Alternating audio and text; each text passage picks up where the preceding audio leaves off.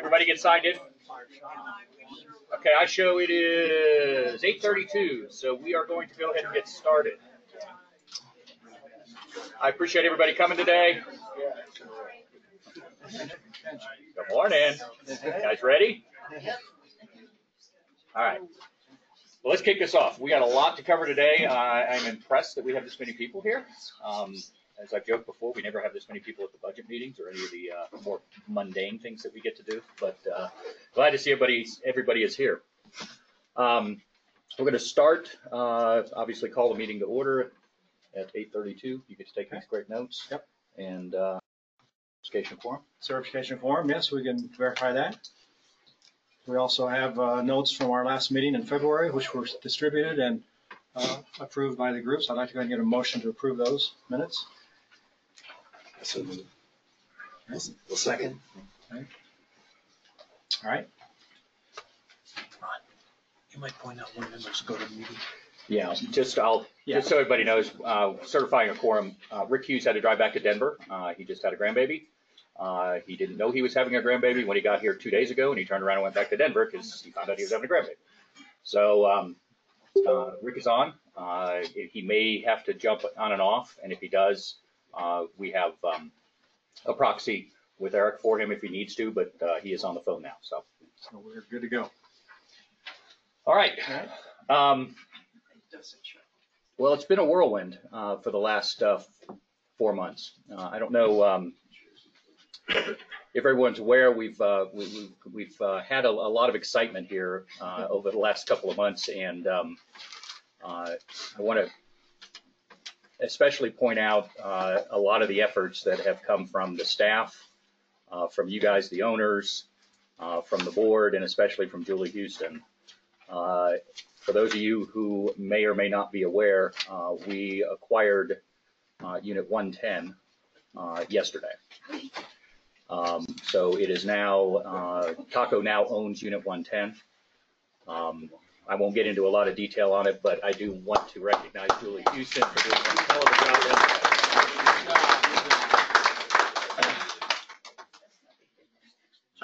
Um, I'm not going to get into a lot of questions on that right now. Certainly, we can address it if, uh, if, if questions do come up. Uh, I want to keep the, kind of the meeting moving. Uh, but, um, uh, we'll address, uh, you know, that does become property of Taco now, which means obviously we have a, an additional common element.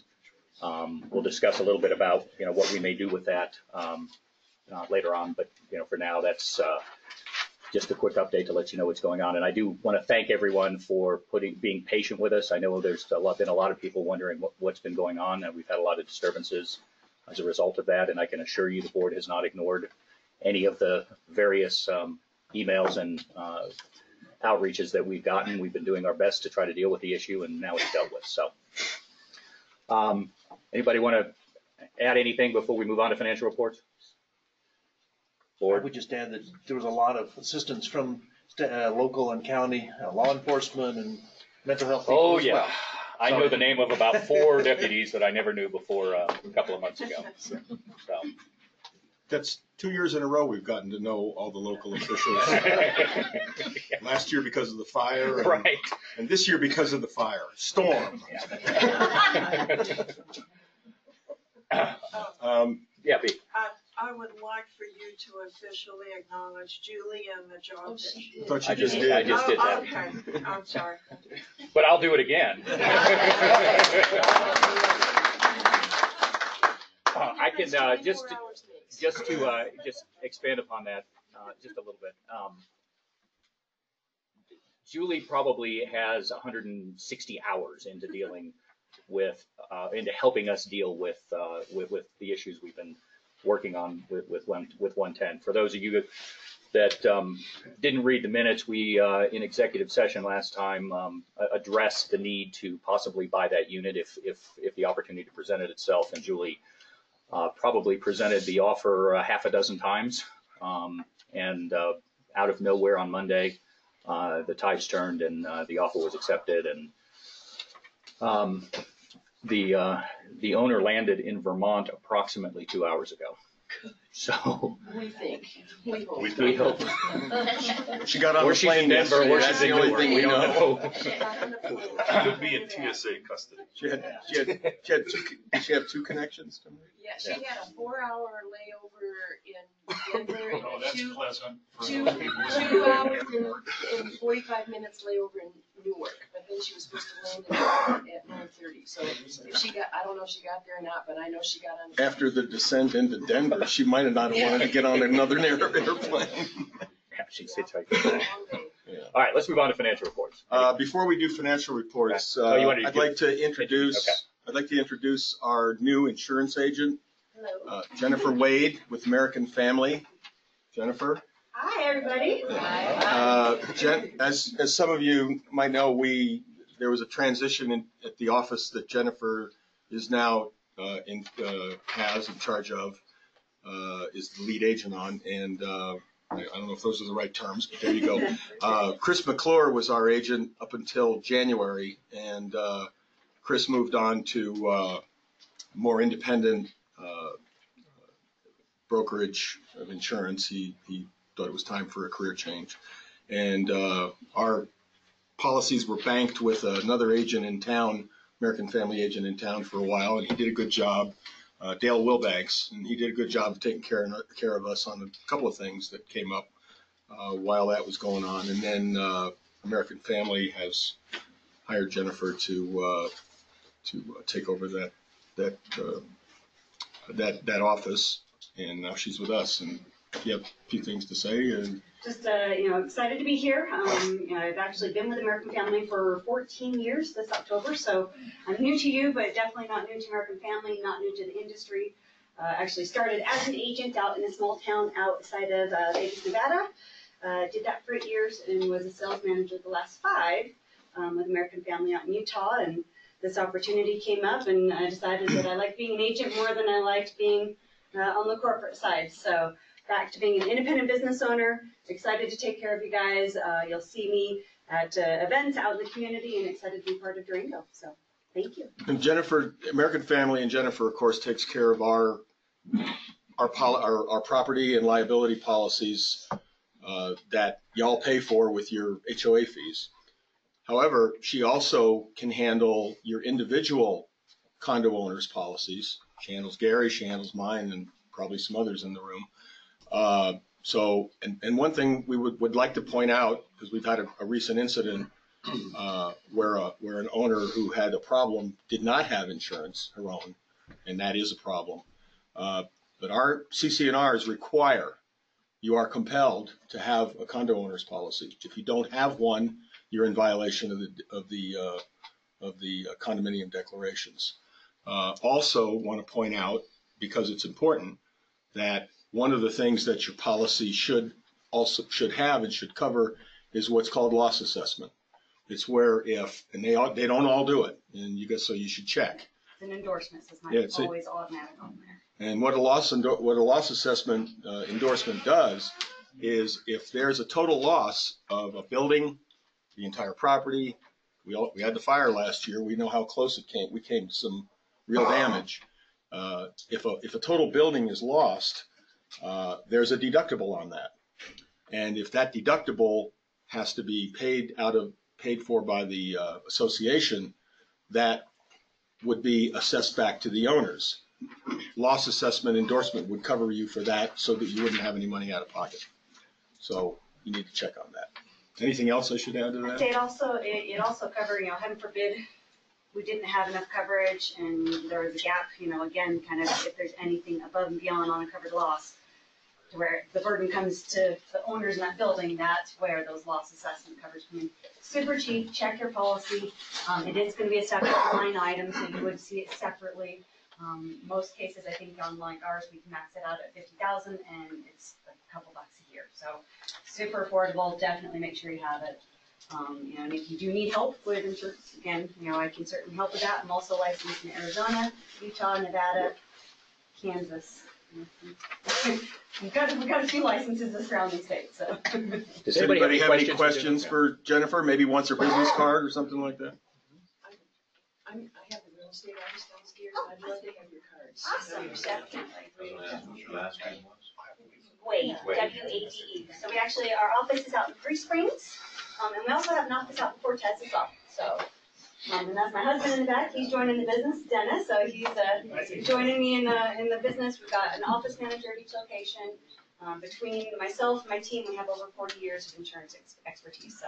And I definitely have a couple familiar faces and clients in the room, so, um, condo policy is super cheap. Another recommendation maybe that I just say to check is on your liability, make sure it's maxed out at one million. Um, most home, private, uh, personal policies only go up to a million, but a million dollars, you never know when enough liability insurance is enough. That's where we get into gray scenarios, that's where we get into things that you can't always completely control. And of course, unfortunately, a lot of sue happy people out there. Most policies, you'll often see like three hundred thousand on your liability, and to go to a million, it's usually a couple dollars difference. And it's absolutely well worth it, um, if you don't have that already on there. So that'd be my other tip to look at that. I thought I saw some more hands. Anybody else have a question for Jennifer? Okay, Jennifer, thanks for coming. Thanks for coming by, Jennifer. And thanks for the donuts. She brought donuts, if anybody, yep. I forgot, there are extra copies in here. if anybody- Okay. All right, thank you. Thank you. Thank you, have a great day. Thanks, Jennifer. All right, All right, Joe, sorry. Thanks for putting me online. that's okay. Now you're it the financials. Gary, you want to put the financial reports? up there? Which one do you want? The financial reports, April financial report.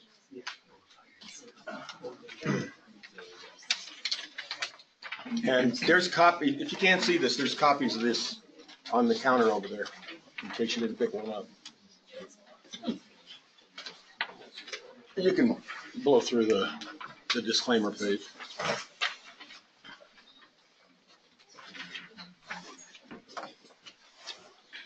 Okay, all right, so we're looking at the balance sheet. Uh, so this is the first actual report for 2019. It covers through April. The thing, the thing that's good to be aware of with this report is it's early in the year. We, we do a lot of things, uh, we have a lot of things in the budget that are, are, uh, heavily weighted towards later in the year, in the summer, when the weather's nice and when work can get done. You'll see that on the capital expense, uh, budget page. Uh, there's a report page because there's just not much to do in the winter except keep the snow off the ground, and we know that was a big challenge this year, as you'll see when we get to that line item in the budget.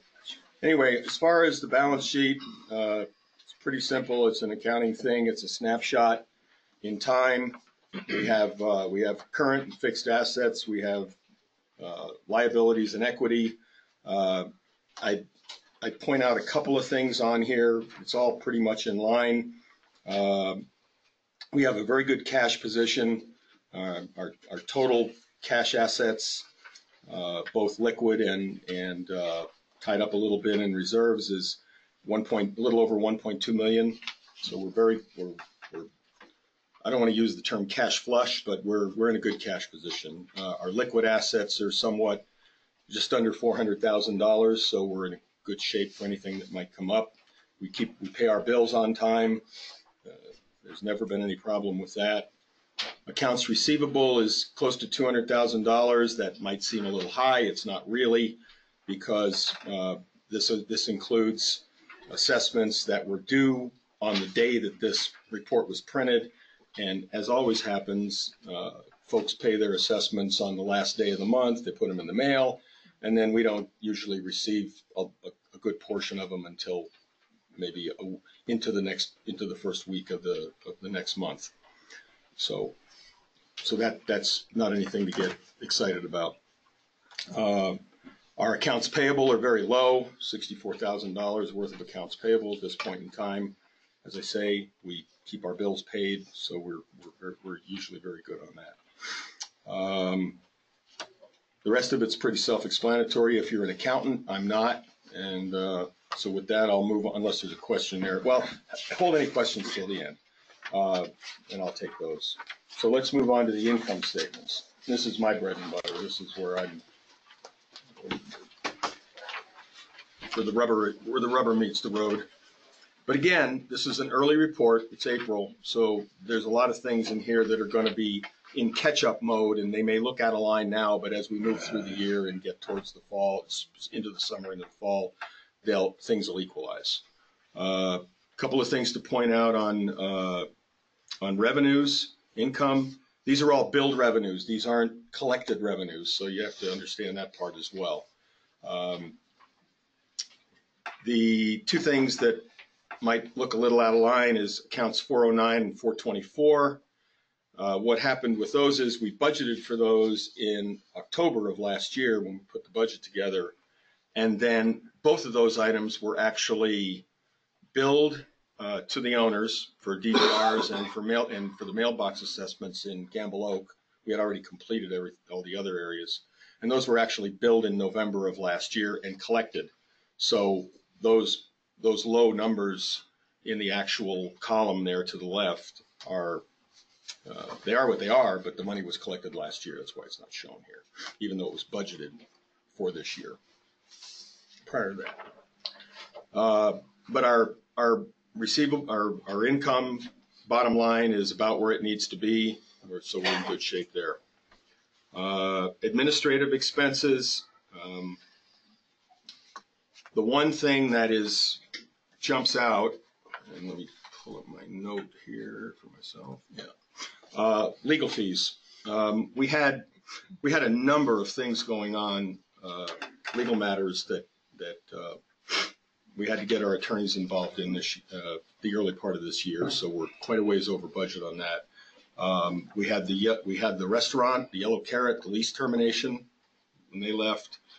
Uh, We had this, the whole situation that Scott talked about with Unit 110 and selling that unit and all the, all the, all the legal problems we had with, uh, uh, with, with that owner while she was here.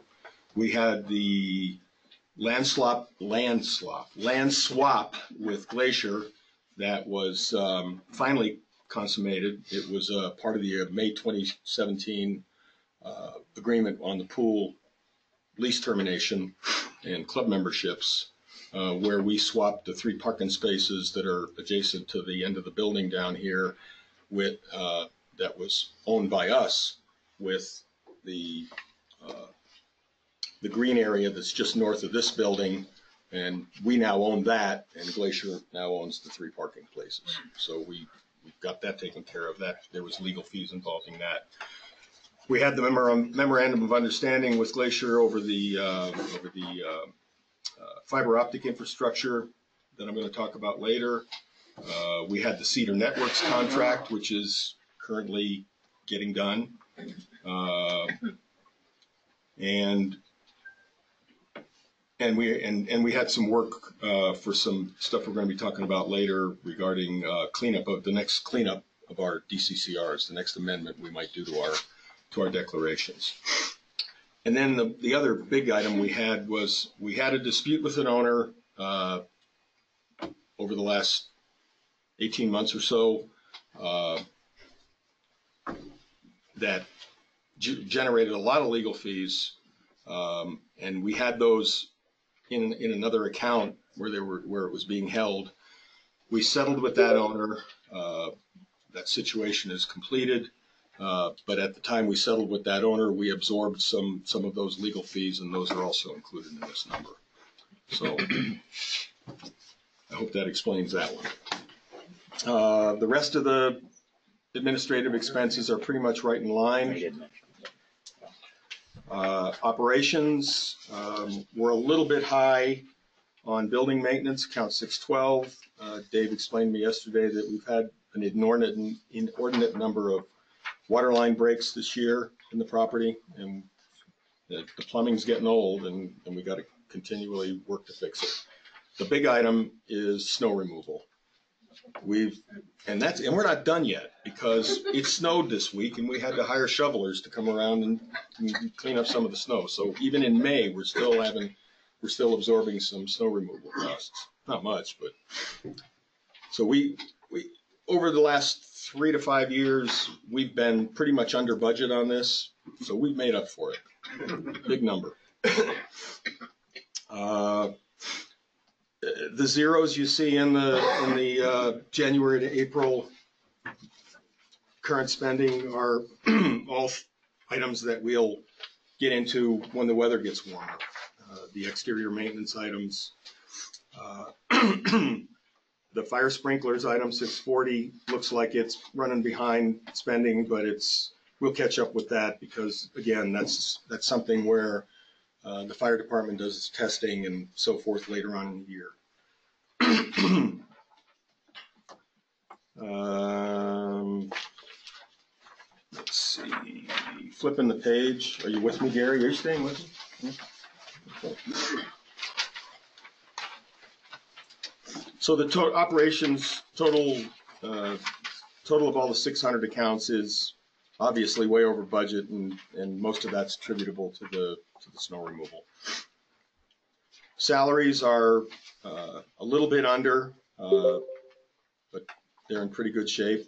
Uh, The employee benefits, which is, uh, health insurance for the employees, looks to be a little bit high, but there's a transfer that's, needs to happen between that account and the same, and the like account over in the rental program, because we have, rental program is where we have the front desk employees, uh, and that budget hasn't been hit with, uh, with, the- with the, uh, insurance premiums yet, which will be transferred from there, so that'll even out and look a little better than that.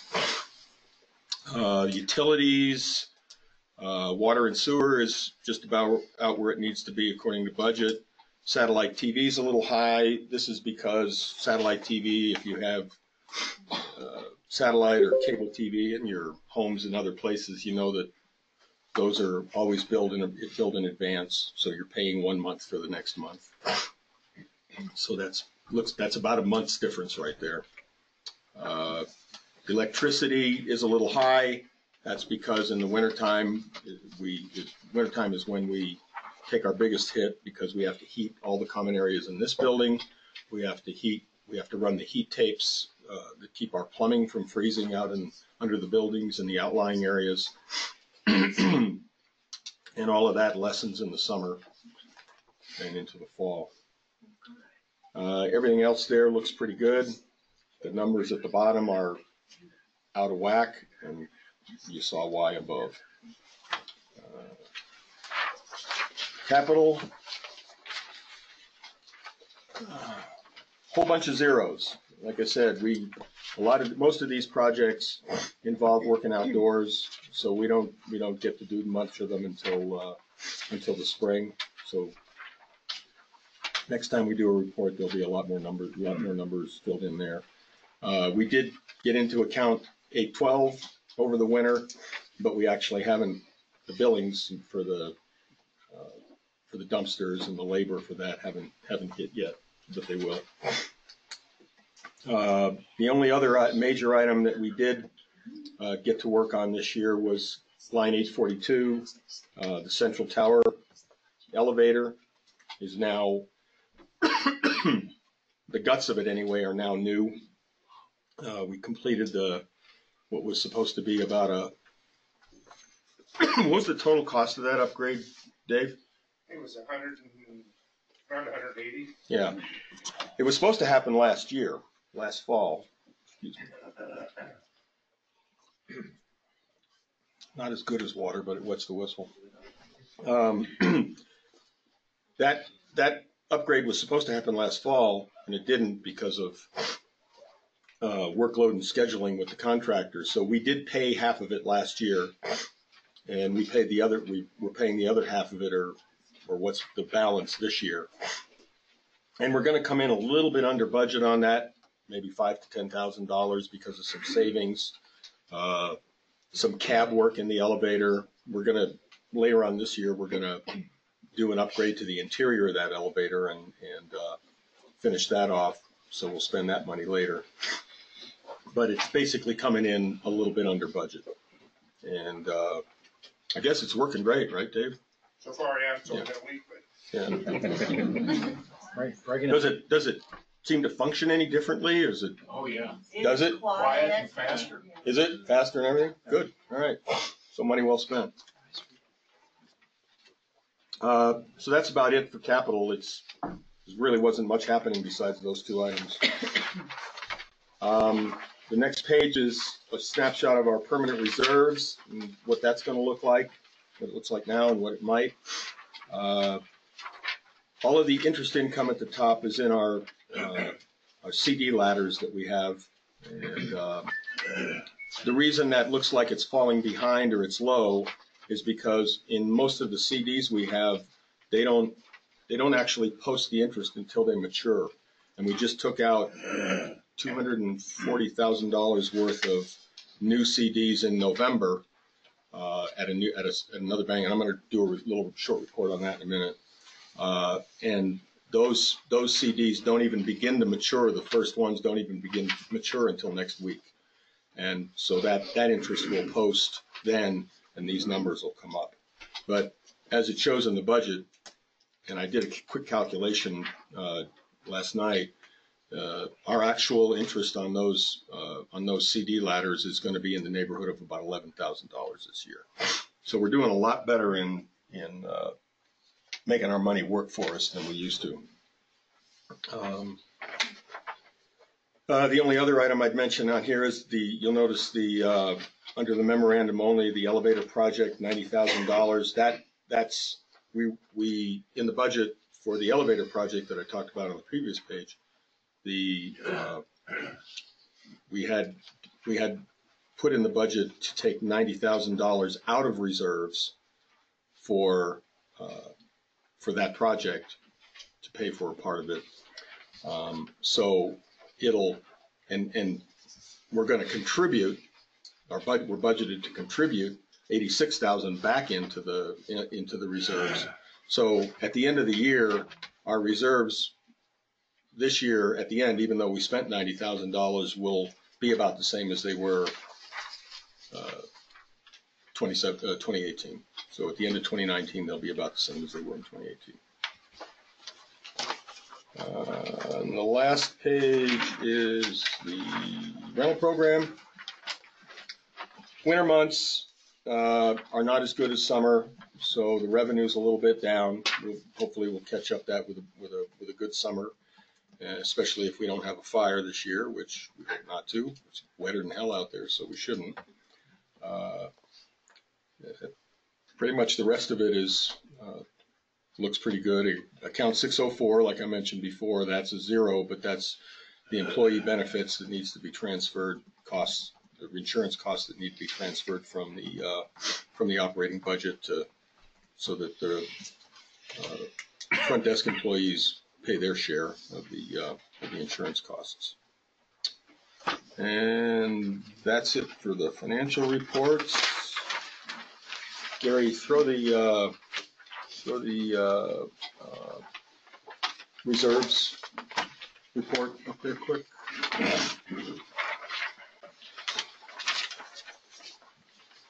You realize you have a date of February first on this thing? Where? I changed it. Oh, did you get the wrong one? This is the one you sent me. Yeah, this says as of December thirty-first. Did you update? I sent you the, I sent you the wrong one. Um, okay, I'm just gonna talk to it. Sorry, guys. It's all good. The numbers are higher. They are higher. That's what we like, high numbers.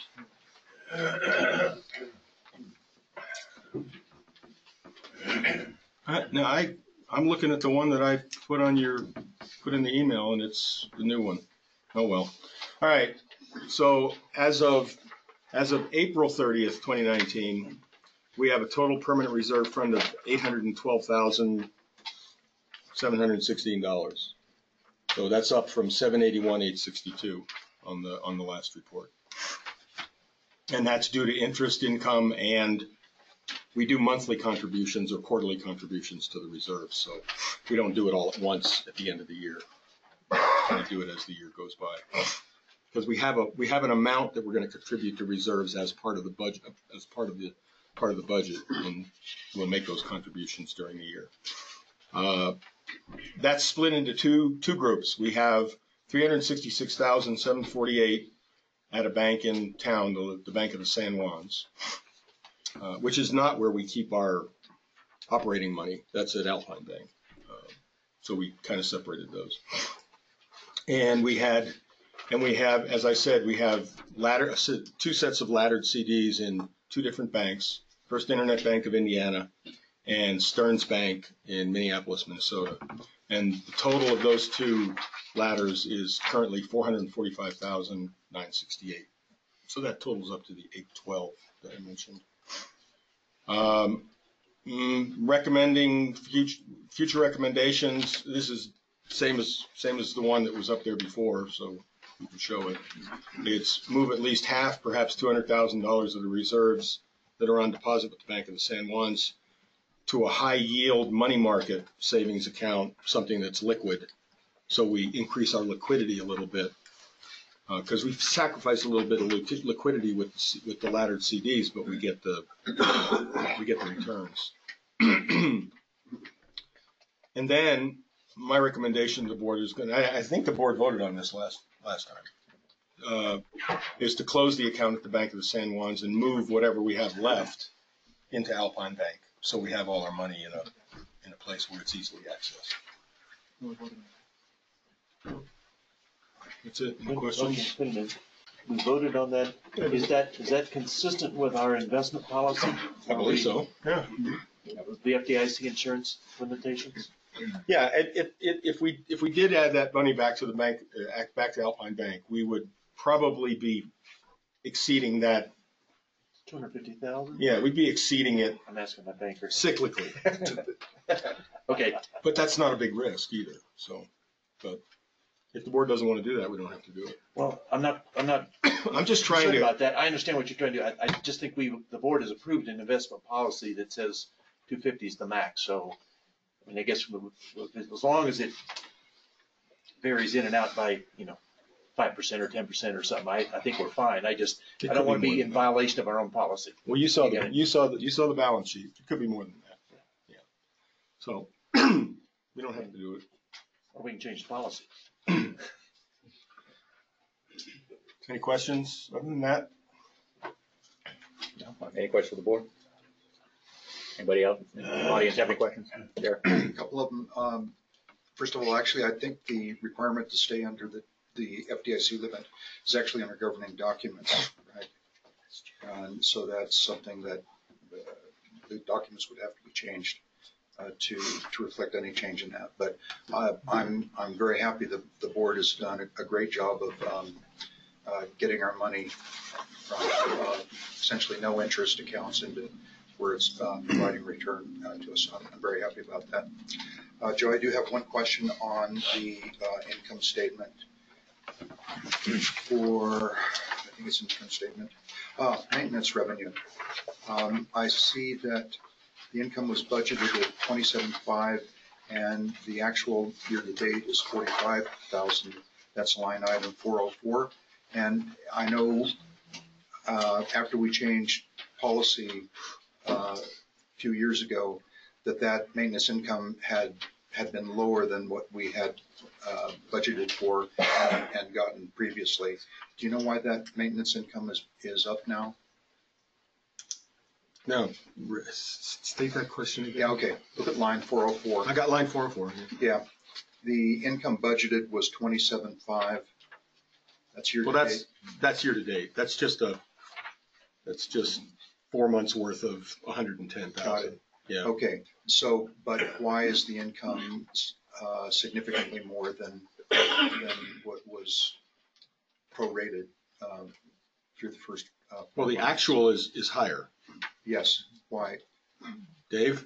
Um, Well, I talked yesterday that the income's actually overstated on there. There is a, we're gonna go down about nine thousand dollars with the, uh, adjustment with some income that was basically put on there wrong. So it's not as high as it looks right now.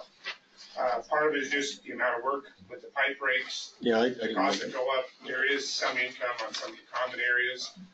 Uh, Also, I think in there is uh, contractor fees, and there's been a lot of remodels, so uh, we had an increase in contractor fees, so I guess we're just working harder and making more. Yeah, Jerry, there's, if I can, yeah, I- we talked about this, I just, I guess I just didn't make a note of it on my notes yesterday. Um, Again, this is billed revenue. right? Not Right. collected. Right. So a portion of that, how much, Dave? It's almost ten thousand. Almost. Can I say this? Almost, almost ten thousand dollars of that was maintenance charges that were incurred by,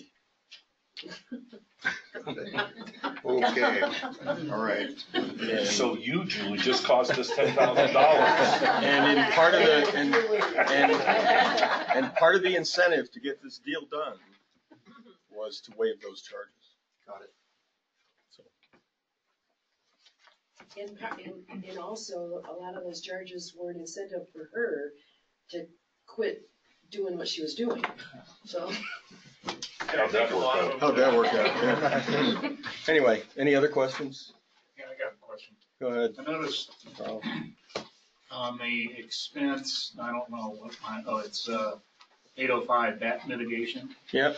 Is that higher than what, it seems to me it used to be around twenty thousand, maybe, Yeah, we, we increased the budget. increased it. Yeah. So this is a pretty good zap on them. It is. Well, what, the problem, well, I I don't want to get into the whys and wherefores, but we, in order to try to keep, to get bats out of here. Yeah. I mean, spending a little bit of money gets you nothing, Just doesn't do it. because they move from here to here to here to here. They just, they just, they get evicted and they pick up residence somewhere else, and it's usually right next door. Like mice. Yeah, we can't send them to Vermont. Good, very good. We can So in order to keep kicking them out of wherever they are, it takes money. Good, I'm glad to hear it. Any other questions? Other questions? Yeah. That's it. All right. Thank you, Joe. All right, um, so we're gonna move on to rules and regs. Um, needless to say, um, our aforementioned, uh, tenant or owner that just moved to Vermont, uh, forced us to kind of reassess the, the rules and regs process around, um, not just the fines process, uh, and appeals and that kind of thing, but also, um, the smoking policy. I think everybody, uh, is aware that we shared a smoking policy, um, uh, draft a couple of months ago for public comment. We're going to address that. We'll start with um, uh, the, the fines and appeals process.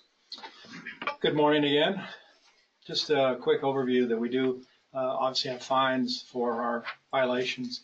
Uh, Actually, we start at the warning stage and then work our way up, uh, depending on what the situation is. And I won't spend a lot of time on this because probably less than, you know, two or three percent of our community really gets involved in this. But we just wanted to remind people that uh, if there are violations, that uh, we do have a process, a fine process, and then that process, again, depends on what the, what the violation is, obviously. Um, But we felt it was, it was in, in all fairness to go ahead and develop uh, a fine schedule. Um, Not a fine schedule, but a fine as in money schedule. It really is a fine schedule, I guess. Um, Basically, we, we wanted to put structure around it. Right, and so we had a purpose and it's, it's defined, and if you go to the webpage and go to rules and regulations and scroll all the way down, you'll see the fine, uh, information there. Uh, and again, if you have questions on that at any time, so give me a call. Also, as a reminder, when you, if you're cited for some type of violation, you receive a citation. Uh, on that citation is all sorts of information, but in, included in that information is the reminder that you can appeal the citation within 15 days of the date the citation was issued. At that point, uh, we'll schedule a hearing. We'll go through the information again, what happened, the details, um, who was involved, uh, there was witnesses or uh, other- other people that, that may have input, review that again, and then really kind of give it another, another look at. Uh, And then at that point, make a final decision as to, does the fine stay what it was? Is it reduced? Could be um, some changes there. But we do have a process. So uh, if you do receive a citation and, and don't feel that that was done correctly or fairly, uh, then you can appeal that through the appeal process. And I think it's important to note, I've, uh, you know, again, we, we've had a, uh, an inordinate, inordinate reason to do this because of some of the issues we were dealing with. But, um, you know, we have to remember, we all live in a, in a common community. And while we don't like to have rules and regs, we have to have rules and regs. And, and, and the, you know, the, the fines and the warnings ultimately are, are intended to let people know that, hey, you're, you're not following the rules and regs. We need you to curb your behavior. And if you don't do it, we're going to fine you. Um, so there is a warning process, uh, and then there's an escalation fine process. Um, we have had issues where owners have just flat out ignored it. And, um, that's why we, you know, took the time to really put structure around it. We worked with legal, um, to make sure that we were, you know, doing so in accordance with, uh, you know, with our documents. Um, you know, I think, uh, while we don't like to have to do this, it is part of, you know, the, the job of the board to make sure that, you know, owners are respecting, uh, the other owners, you know, rights and, uh, following the rules accordingly, so. And if I can, just, just briefly, we have three steps of, of review for this. Obviously, when the uh, violation first occurs, it's noted at that point, then it comes to, to, to my uh, area for, for my review, and then it goes to the board. So we've really got three different sets of eyes looking over this information, because we didn't want to have just one person making the call, making the decision. So there are three uh, sets of eyes that, that look over this, and then if there is an appeal uh, filed, then we'll have some additional uh, people looking at it as well. So we want to try to make it as fair as we can, uh, make sure people are aware of, of uh, what's involved. And I encourage you again, if you haven't done so recently, to go through the rules and regulations. It's not exciting. It's like the tax code, but it's necessary to have. And everything I think is, is pretty well spelled out there uh, in the rules and regulations. So I encourage you to look over that information. If you have questions, comments, to write hate mail, my email is right there. So send me a message and uh, we'll go from there. You want me do a quick overview on this, Bucky? That'd be great. I- Okay. I'm about ready for cigarette myself. Um, Hang on. do we got the motion? I don't think so. I don't think we need a motion for the rules and regs. All we did was really clean them up. Okay. Are you, Yeah. you got one? Okay. Um, the heavy snow this winter. Uh-huh. There was a lot of emails sent out, move your car, move your car. There was one email sent out, if you don't move your car, you're gonna be fine. And with less than twenty-four hours notice, I, I thought that was a little unrealistic and unfair. What if somebody's got their car parked here and they're out of town? You know, somebody drove to the airport or whatever. Um, I, you know, there was, there was so much snow, I know it was an unusual year, but I don't think, you know, we should be getting notices, either you move your car, or we're gonna, or we're gonna find you, or the towing company, or the, or the snow removal company is gonna find you. That was a little ridiculous, I thought, has that been looked into? Gary, I don't recall the details on, I mean, I, I remember, we had a lot of emails going on on moving cars this year, needless to say. Um, you, do you want to, It's just not Clarify always anything? possible to move your car every single time. And. Just to say, it, it was, it was a very threatening email, I thought, move your car or else, we're gonna fine you. And a big part of that problem is that people leave their cars even if they're here and they don't move them. And it gets very frustrating for us and the snow removal people to try and work around, especially here in the lodge. The lodge is the worst place. In the wintertime, we lose about twenty percent of our parking spaces because of the snow. I don't have any problem with And that. what we, what we want people to do is if they're gonna leave their cars here, leave the keys with us so that we can go out and move it. And there are several owners who do that. Leave the keys with us, we will go out and move it. But all too often, people just leave their cars. Well, I don't have any problem with that. It was just the, either you have your car moved by eight AM or we're gonna find you. No other explanation. did we issue any fines? I don't recall ever No. issuing any fines. Okay. No, I don't, I don't even know that it was a real threat. But I, I just, I just, I just thought that was not appropriate. Okay, well, point taken. I mean, obviously, uh, the snow is a big problem. this year. Yes, it was. And I when get people, that. I, I get that, and Yeah. I get the fact that people don't move their cars and everything like that. Okay. But maybe, maybe what Gary just said could be set out, so people know what the options are, rather than you move your car, we'll find you. But, I- and also understand this, that, that email went out probably the, I want to say like the third or fourth time. And it's incumbent on everybody who lives here to realize when we have snow, you should go out and move your cars. I don't think people need to be reminded every single time it snows. I don't I mean, we've got a, we've got a whole lot of other things to do, and you kind of expect people to take on that responsibility themselves. So it gets frustrating. I, I think that's where maybe at the beginning of the season, maybe a reminder could be sent out to people, hey, we're coming up on snow season. there were dozens of emails sent out about moving cars. So, That's I mean, to, to, to, I, I, but my point is, we, if it sounded threatening, it was probably out of frustration. Um, I understand your point, uh, but keep in mind to Gary's, But I- Gary's I- comments, what I'm- we've, I saw dozens of them. I mean, I'm in Houston, I don't see it, I know but you did, I know you did, I did too. What I'm saying is, at the beginning of the season, could we send something out to everybody and say, hey, snow season's coming up. Please, remove- you know, move your cars when this happens. If you're gonna be out of town, leave your keys with us. Okay. We can move it too. Yeah. I didn't know that. I that. think it's a good idea. I didn't know that. Did anybody in here know that? No, Well, we haven't had a snow season like this in, in, in many years, I, so. I know, but That even doesn't, in. that doesn't mean that we shouldn't be notified though. No, I agreed. mean, we didn't have a fire either until last year. I mean. Well, But keep in mind, it, it, there were many, many emails that went out about moving cars. It wasn't like that was the only email. So, it, point taken. I mean, we, I started the newsletter this year. We'll put them, we'll put a reminder in the newsletter. I think it But makes no- sense. But nobody knew, I didn't know that we could leave keys with them if you, if we, if we couldn't leave our car. We, we will include that in the, uh, Thank you. That's all I'm trying to get. That's all. understand. Fair enough. Appreciate the input. That's a good question with regard to that. Um, I would go down and be ready to move my car when re- uh, requested, but there were no spaces.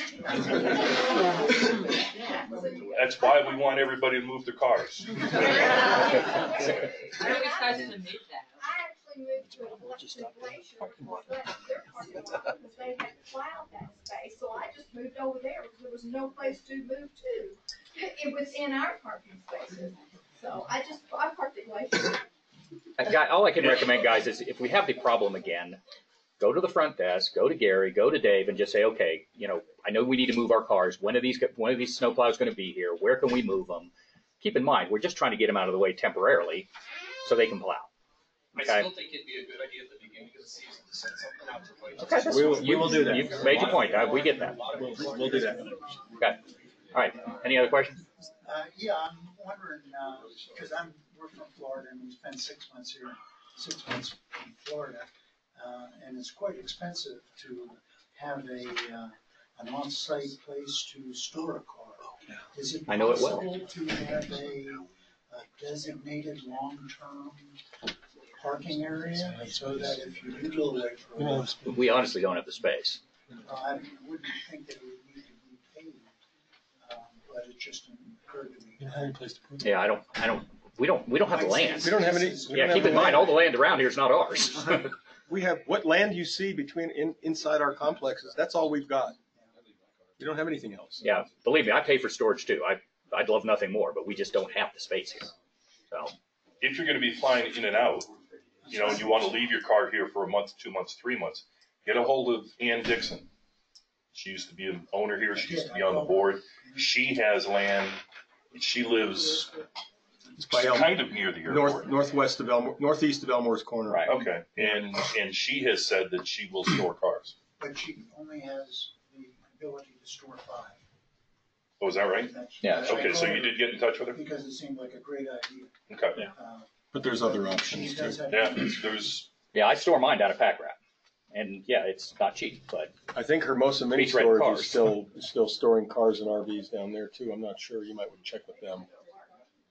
And one of the things we looked at when we redid the parking policy, I guess two years ago, was this very same topic. And besides the issue of we don't own a lot of the land that, that we see between us, the other issue is keeping areas clear for fire, emergency vehicles, that type of thing. So it, it really, it looked like it would be pretty easy to do right away, but it got really complicated quickly. So the space space issue was really what brought all that to a halt. okay, let's move on to smoking because I have a feeling that is going to be a, a long topic as well. Um, so as everybody's aware, um, we issued, I think everybody's aware, but just to uh, make it clear, we put out uh, at the suggestion of the, if, if anybody's at the last couple of board meetings, we've had several people approach us about uh, smoking here uh, at the lodge or uh, on property in general. Uh, Glacier is a non-smoking facility. The 416 fire brought to light the fact that you know smoking is something that we probably need to pay a little more attention to. Uh, we have uh, owners that don't necessarily or haven't historically disposed of cigarette butts and whatnot responsibly. Um, after the feedback from the last couple of board meetings, uh, we floated the, the idea amongst the board of a, of a prohibition on smoking and making the property non-smoking. Uh, we put that out for comment. Um, we got 35, 40 comments? Thirty-eight people. 38 people Fine. commented. Um, I'll let you provide the summary, and then uh, we've uh, got a suggested revision to that, um, to to what we put out originally. And I want to thank everyone that, that wrote in. Uh, what I tried to do was respond back to you within at least uh, eight or nine hours after you wrote me. Uh, but I appreciate the uh, feedback. And obviously, a lot of people, this is a sensitive subject. So we had people that were for smoking and people weren't uh, for, for smoking. But again, the uh, feedback that we got was good. Basically, 38 owners responded. We had uh, 32 of those were in favor of the draft. This is the first draft as, as it stood. Uh, Three owners were in favor if we could uh, declare authorized exterior smoking areas at, uh, at Tamarron and include uh, smoking on decks. One owner threatened a lawsuit stating he would sell his three units if the policy is changed. The owner recommended we allow for smoking on unit decks as well. One owner uh, recommended that all current owners be grandfathered to smoke. The new people, sorry, you're out of luck. Hit the road. One owner suggested each uh, owner sign a document that states they will follow our current policy and will never smoke here. And then we had some uh, additional comments about, again, smoking on the decks. People understood that uh, we need to limit smoking, but they felt like they should be able to smoke on their decks for the outlying areas. So again, good, uh, good, good feedback. We ready for the motion or the motion? Yeah, so just, um, we took everything, uh, believe me, we thought long and hard on what the best process was here. Um, I can, I can tell you that, uh, you know, in, in the board meetings, uh, and in executive session when we talked about it, uh, we talked about, you know, infringing on people's personal rights. And, and it is something that is realistic, and we know that we need to recognize that we've had a property that has allowed smoking for quite some time. Uh, we also needed to recognize, however, that, um, we, we do have public spaces and we've had a lot of issues with uh, people smoking, not just irresponsibly, uh, but also with, um, you know, the new marijuana laws uh, causing issues where uh, we've had just, quite frankly, blatant smoking of marijuana throughout the property and a lot of complaints about it. So uh, we've, we're suggesting a revised policy. Uh, It will be put out for, for comment again, since it's different than the, than the prohibition we originally put out. Um, You want to go ahead and go over that? Yeah, and this is lengthy, so uh, again, we'll have this posted, so don't, don't try to write this down because it is quite lengthy, but we're basically, want to make a motion that we post the following draft for 10 days to receive owner feedback and, uh, and owner, re- owner review. What we're recommending is smoking at Tamarron shall be allowed in designated smoking areas only and not in public areas. Smoking will be prohibited in the lodge other than in the designated smoking areas. This includes lobbies, the restaurant, the parking lots, decks, and individual units. This is again for the lodge. No smoking includes all tobacco and marijuana products. The outlying clusters, smoking is allowed only on private decks of the units. Smoking will not be allowed in the parking lots, common laundry service areas, or other public areas. Authorized areas for smoking will be designated. Marijuana products shall be prohibited in the designated smoking areas as well. This is for the outlying clusters. Tamarron will continue to monitor for responsible handling of cigarette butts and ashes as it is expected that owners and guests will smoke responsibly. Failure to do so will lead to fines and possible permanent prohibition of smoking property wide. Okay, so that was a motion. Uh, Do we have a second? I don't know that we need a motion until we get owner feedback. Well, No, no, you have to have, this- you have to have, a you have to have a motion and a second, then you can have that, that was a discussion. motion for us to adopt that, to share that policy for public comment and possibly, um, uh, uh, you know, make that a new rule and reg. Okay, so we have a motion. Oh, Do we have a second? we can't have a discussion until we have a motion, so yeah. Right. Yeah. Do we have a second? And then we'll have discussion. I'll second. Okay, we have a second. All right, any discussion from the board? Yeah, I must say, I'm still concerned about private property and at least some kind of a transition period. Okay. I'm concerned about the lawsuits. I don't want to see us spend thousands of dollars, and then we know one small case can cost us thousands of dollars to, uh, There's a, to argue this. there's a whole, we wouldn't be the first. No. There's a bunch of, there's a whole bunch of, of cases of this already being implemented in, in common interest communities. Yeah, and- we, just for everyone's benefit, we taught, we spent a lot of time, uh, Joe was referencing the legal costs. We, we had legal involved in this. Um, You know, we could have prohibited this in the property. It would have, been regret, we, uh, we could have prohibited smoking property-wide. It would have required a change to the, D- to the DCCRs. Right. Uh, we did not feel that that was the appropriate step. Again, we have people that have been here many years. We have people that smoke. We have people that smoke pipes. We have people that, um, you know, we felt like we needed to take into account, um, for lack of a better description, some way to ensure that we had some kind of grandfathering, so to speak, or at least uh, accommodation for that. So I will speak specifically to the lodge. One of the reasons why uh, we made the determination that the lodge should be non-smoking is because we cannot control the flow of smoke. We have adjoining units, we have, um, you know, common hallways, and it has just become a problem in the last year where smoke has permeated throughout the lodge. We have literally had people come in here to buy and then walk out and say they're not going to buy property here because of the smell of smoke. And yes, a big chunk of that's marijuana smoke, but when it begins to, to affect uh, the quality of life here and the property values here and our ability to resell properties, you know, we as a board felt like we needed to address that. So that's the logic behind the policy.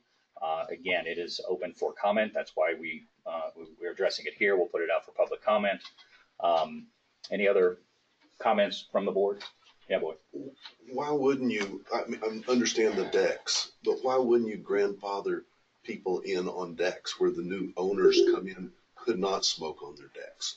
Because the end result is trying to get to a non-smoking facility. If we don't do that, then we're just gonna open it back up where people buy condos, smoke on the decks again. Well, we're, we're leaving it open for smoking on the decks. Right, we're but why not doing- wouldn't I- you say like, if I smoked on my deck and then I sold my unit, whoever bought my unit couldn't smoke on the deck?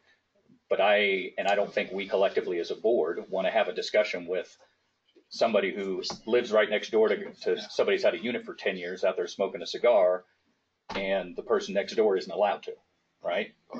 That's a, that's a tough argument. To me, it's.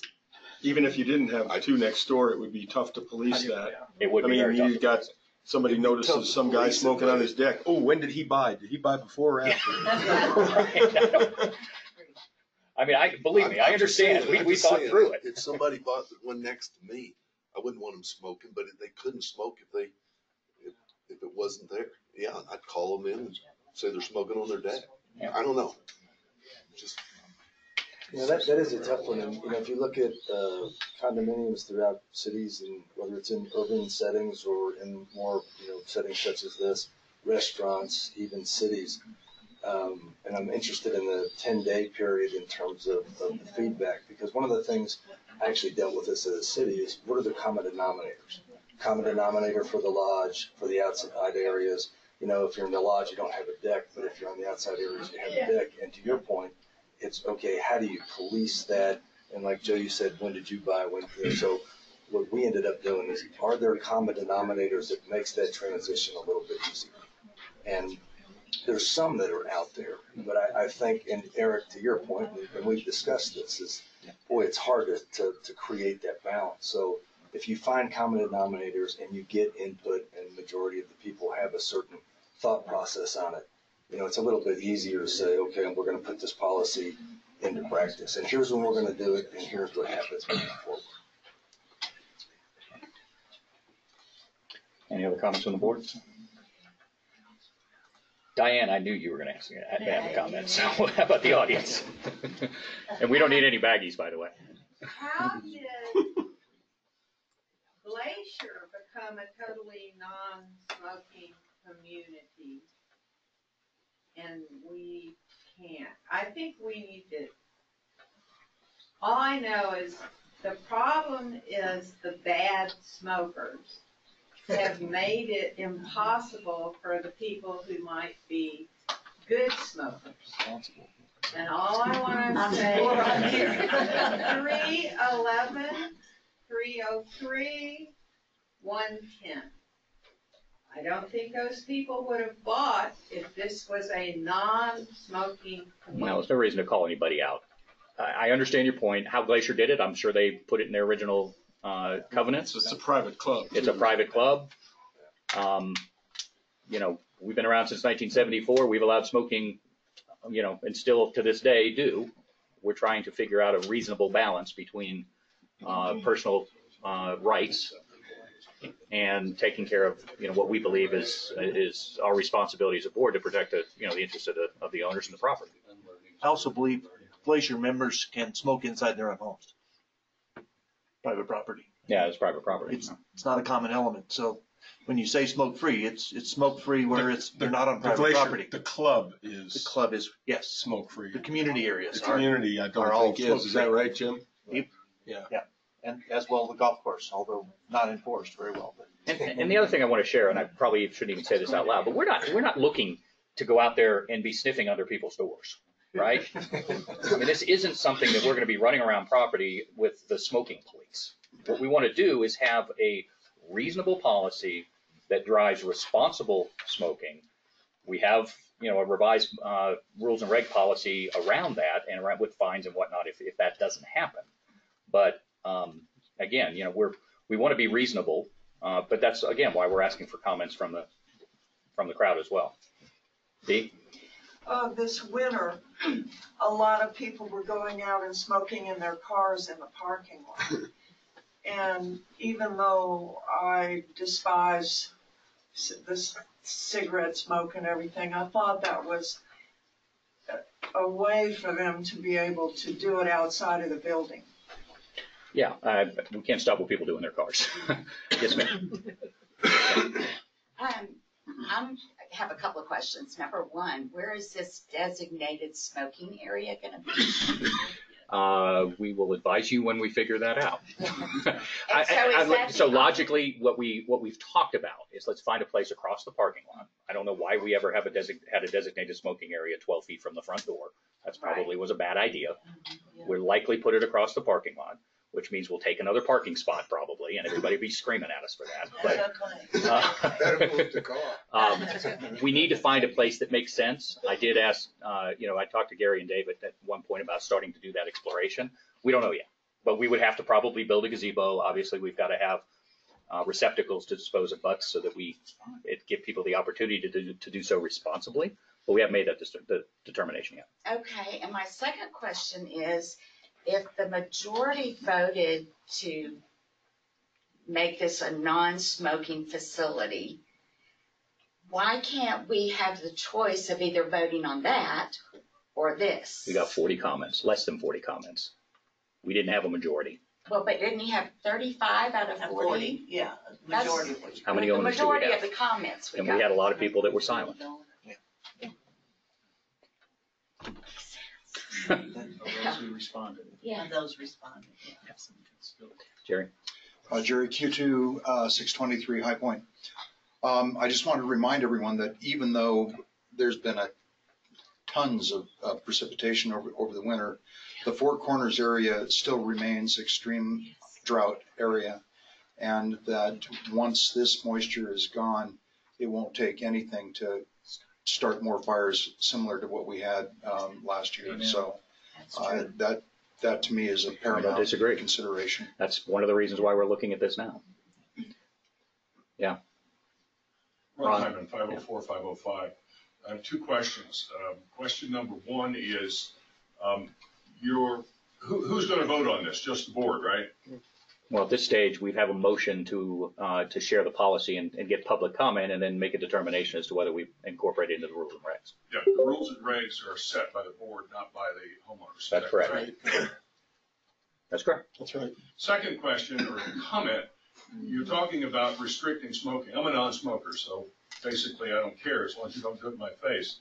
Um, You're talking about setting a policy of non-smoking, including individual units, and you just finished saying, well, gee, we'll look the other way if you're smoking in your unit. I didn't say that.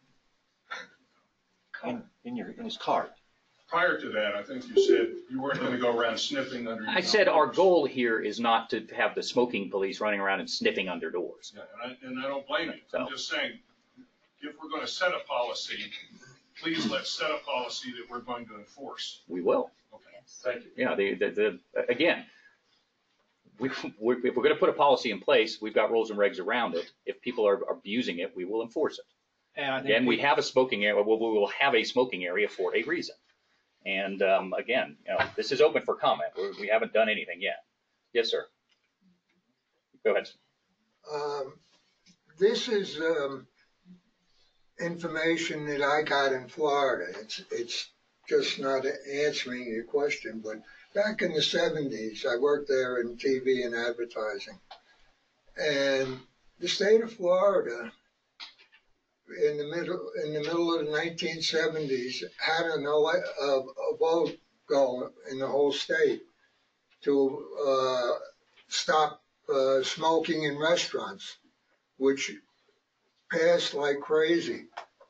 Now, this doesn't answer your question of who's smoking, but the general public is against it. I would agree. The majority of people are, I against mean, it. I mean, the vote was eighty percent mm-hmm. in the restaurants, couldn't do it. So it's out there. So when you're talking about here and there, It's, it's out there, but it's, again, it's, po- I can, I, I can name seven restaurants in Dallas I can go sit down and have lunch at, and somebody can sit down next to me and smoke. So, again, I understand your point, yeah. But it's not universal. I, I think it was, I think it was pretty good, and I'm in New York and Vermont a lot, uh, in Florida. But it's cutting down. Yeah, okay. Yes, sir. Uh, Terry Demott, eight forty-nine. Um, I might have misread the, the uh, proposal that we were all sent. Um, It seemed to me and to one of my neighbors that smokes, that uh, you're trying to prohibit smoking within a unit out in the outlying areas. The original draft we put out was a, was a, was a total prohibition. Um, we opened it up for comment, and a lot of the comments, several of the comments we got back, uh, were, you know, basically around, uh, you know, the right to, to, to smoke within their unit. And Glacier, which was held up as being smoke-free, those people that own their units are uh, obviously limited to smoke within the unit itself. It's their home. I'm speaking of homes Yeah. rather than units. So, the- just so I know and I can pass it along, the smoking within the unit in an outlying area is okay as long as you don't uh, smoke marijuana on your deck. I don't think that's what we said. That's why. I- What, what our suggest, you know, our, our general suggestion in the policy, and again, this is open for comment, uh, is that if you're gonna smoke, smoke out, smoke on your patio. Um, you know, we do have, uh, again, we do have adjoining units, e- even down there too.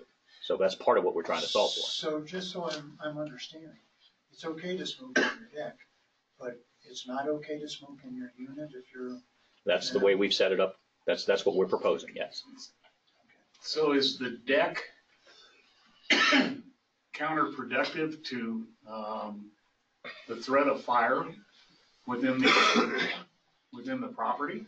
I Only mean, if- I mean, that seems like it's, Only if the owner is, it, it's not if the owner's being responsible. If the Well, I- owner is not being responsible, then it is, And it you, would be you the you are same correct. The deck's here. The except that policy's these gonna are more encourage common responsibility. decks. The decks, yeah, not, not, not the lodge.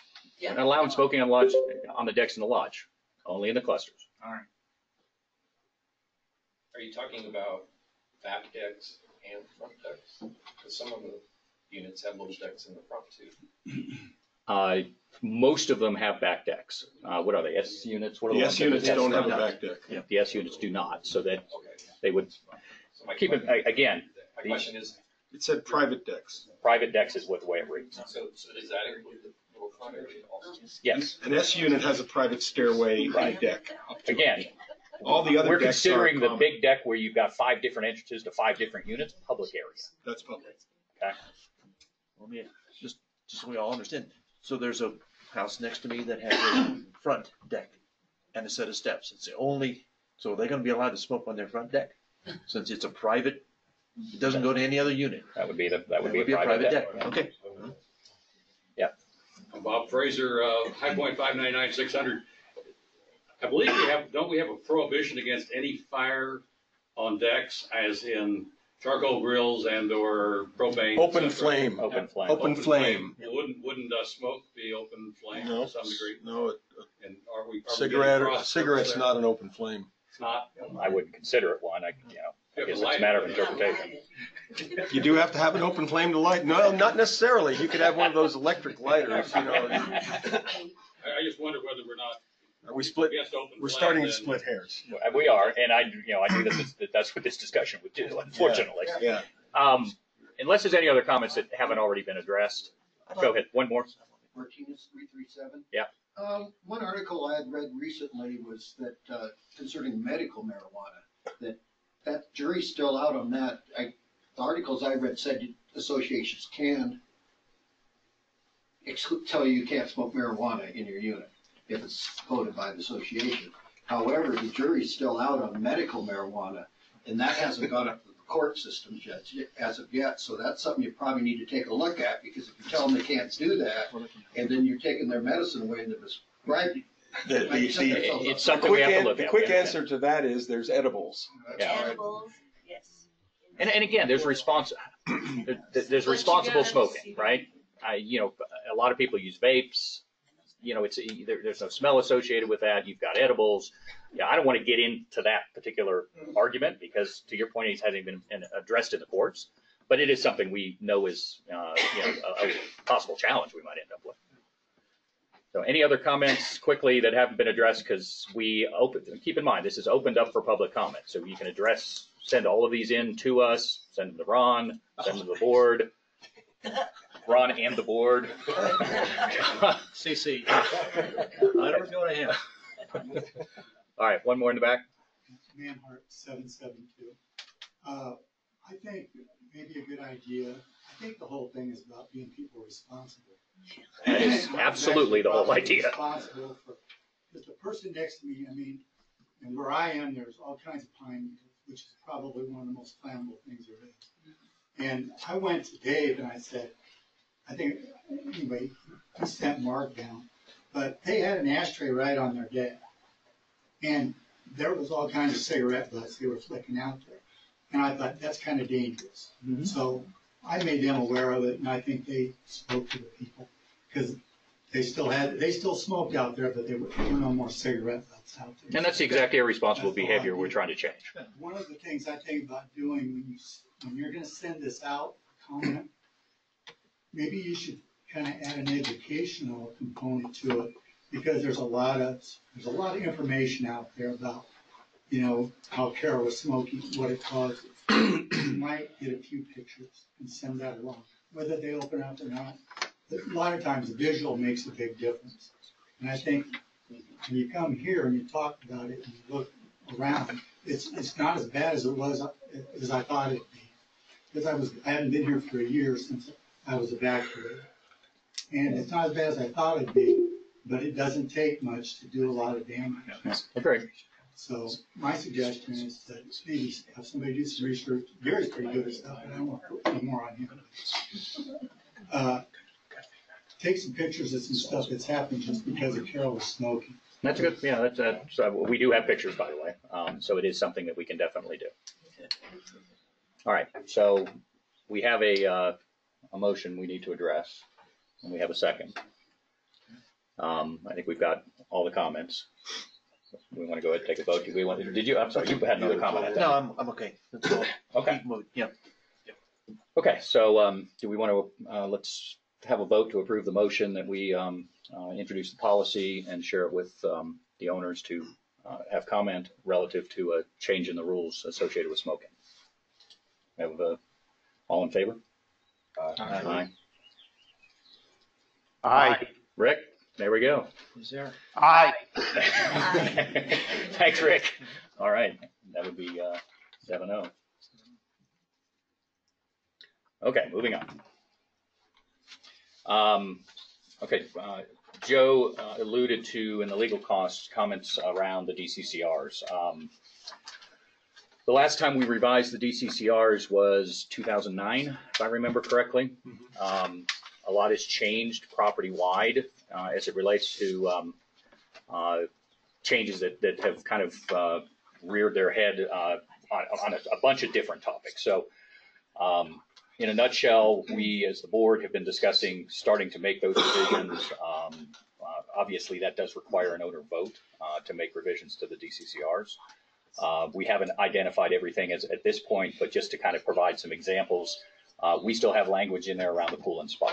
We don't have a pool and spa. So we need to clean up uh, language uh, related to that. We have uh, language in there related to the reserves that um, need to be updated because legislation changed after 2009, uh, and we need to update our DC, DCCRs as a, as a result of that.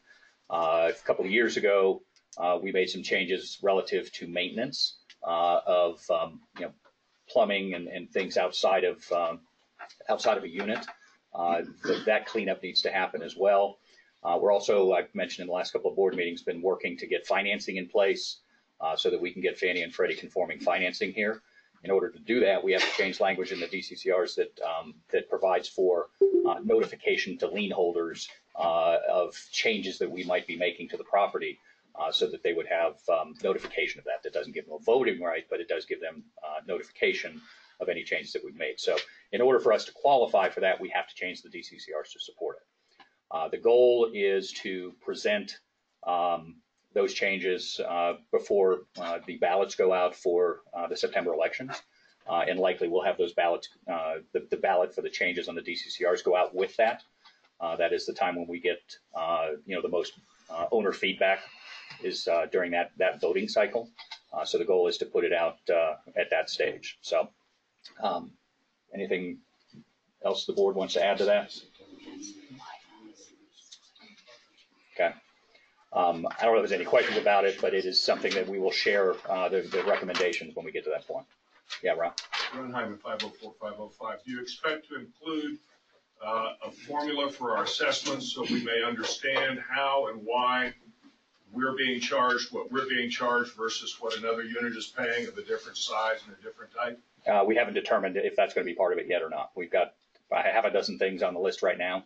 But that's a priority? Uh, that's one of the topics of discussion. We may include it in this change, we may not. We're not there yet. Any other questions? Okay. Water update. Um, not a whole lot to update, but Well, we do have, there's a few things. We continue to request information. Yeah. And, and we're, we're making some progress on that, which, which is, um, happy to tell you that. Um, Glacier's hired a law firm out of Denver, and uh, our attorneys are working with them to start the negotiations on this process.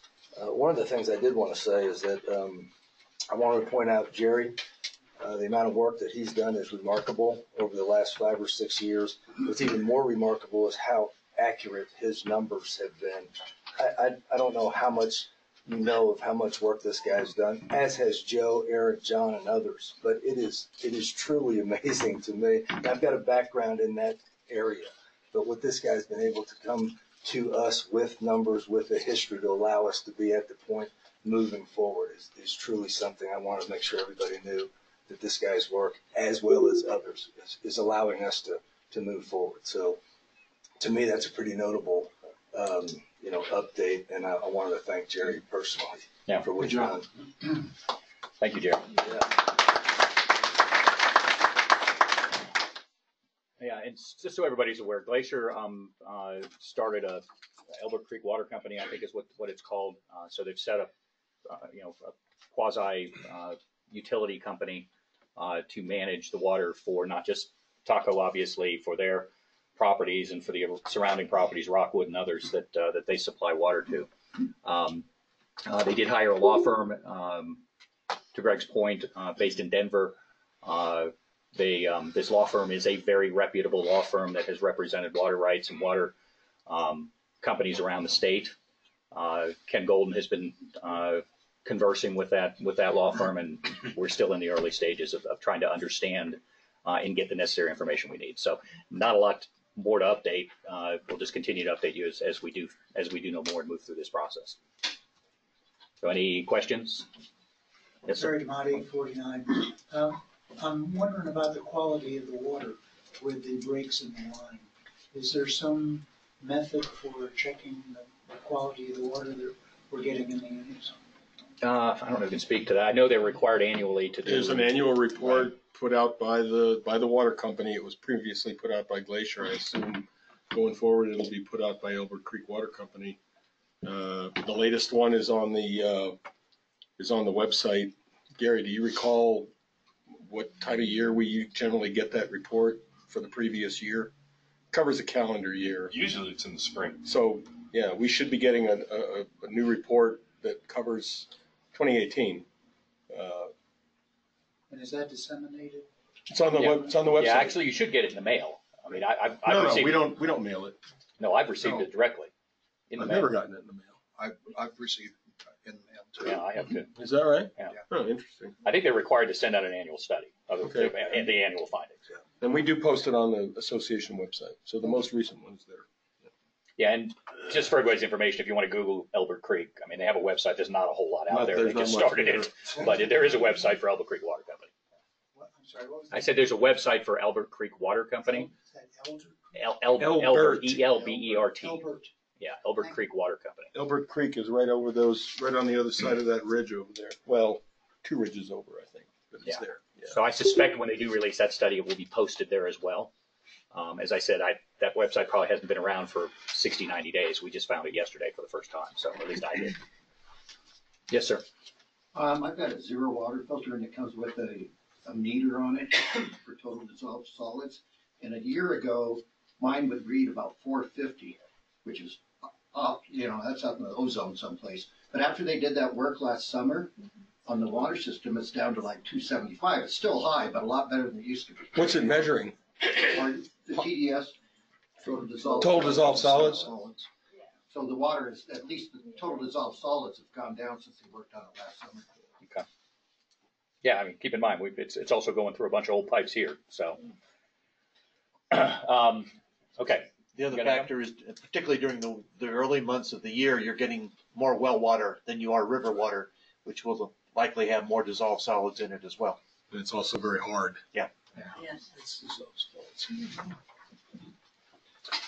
Okay. No other comments on that? Questions? All right, we'll move on to, um, TV fiber internet. Um, Joe? Yeah. Uh, Gary, you want to put that little report up there? This isn't a, this isn't a whole, yeah, okay. This isn't a whole lot different than the report I gave in February. Um, we're, we, we're still on Glacier's internet system for the short term. Likely, uh, until mid to late summer of this year, though some areas might get converted over to the new system sooner than others. Um, the, uh, we did reach an agreement with uh, Glacier on the ability to use the conduit infrastructure that connects our buildings, but runs through Glacier property. So although, even though it connects our buildings, it's still, it's still, the- those conduits are, are the property of Glacier. But we do have an agreement with them now to, uh, to be able to utilize those, uh, those conduits, or our contractor can utilize those units. And we do, uh, those conduits, and we do have, and we do have an agreement with uh, an internet service provider, Cedar Networks, who has begun installation here on the property. The lodge is totally wired now. There's, if you, if you're a lodge owner and you look on the inside over your front door, there's a, a little white box about this big, and that's your wireless access, point. That'll be your, uh, that'll be your private internet network at some point in the very near future, we hope. Um, the, uh, the insta- the installation of the, uh, of the rest of the infrastructure, uh, fiber optic in the, in those conduits that I referenced, and the, uh, and the internal fiber, fiber infrastructure and wireless access points in the outlying areas is still yet to be done. Uh, I spoke with uh, the project person over at Cedar yesterday, and he indicates to me that uh, uh, as soon as the fly, the, the block, the blocking point right now is that in order to cut over our phone systems, and in, an, an upgrade to the CenturyLink uh, system that our signals are carried on into the, you know, out to the rest of the world, are in need of an upgrade, and that upgrade has been scheduled by CenturyLink uh, to happen soon. It just has, it just hasn't happened yet. And Gary, have you received anything from Norm Pope or? I'm told it's being scheduled. Unfortunately, that's all I have. Okay. Well, so we don't know when it's gonna get put in. They keep telling us it, it's, it's like it's next week, and then it's the next week, and then it's the next week. Um, what I'm told, what I, what we've learned is that some companies are quick to respond. CenturyLink isn't one of them. Uh, So, uh, and, and, un- and unfortunately, though, we're gonna be tied in with Cedar Networks, which they could, they could light up the lodge right now with internet. The only problem is we'd be cut off from, you wouldn't have a telephone because we'd be, we can't have both systems. And so, uh, so we have to wait for CenturyLink to complete that upgrade. We keep hearing it's gonna be right away. Uh, the lodge can be lit up and completely functional within five days after that, uh, after that, uh, upgrade occurs. So that's, that's the critical path right now. Proofing the conduit between our complexes and doing the uh, installation of the fiber infrastructure and wireless access points throughout the rest of the property will start uh, as soon as the weather improves. So I guess that's now. Uh, uh, They kind of got delayed because of the snow we had last week or so and colder weather and because they got to be working underneath the buildings out in the outlying areas and so forth. Uh, But I'm told that we're, best case scenario, as soon as this, uh, if, the- if this upgrade, CenturyLink upgrade happens within the next week or two, that we could be fully up and running by mid to late July, property-wide. So another update will be coming later. Yeah, I mean, we anticipate that, you know, assuming no problems with conduits, um, you know, we'll, we'll have everything in place before the end of the summer, but probably sooner, so we'll see. You have a comment? Just a quick question, Joe. Um, as I remember, they put the cable above ground to be able to work on the lodge. Is that what, that cable been, um, put back in the conduit yet? I don't know that. Okay. I don't, I don't have. So that's another don't know the answer to potential interruption, but hopefully they'll do that before. I think it's running right behind us. Yeah, yeah, I think it's still. Well, that was the whole reason we could, that's the whole reason we could get the lodge lit up that quick is because the connecting point is just down at the bottom of the hill here. Right, yeah. And we didn't bury the cable, we just laid, laid it on top of the ground. Right. Or- Yeah. But I, okay, so that still needs to be buried too. Yeah, and I think that's a.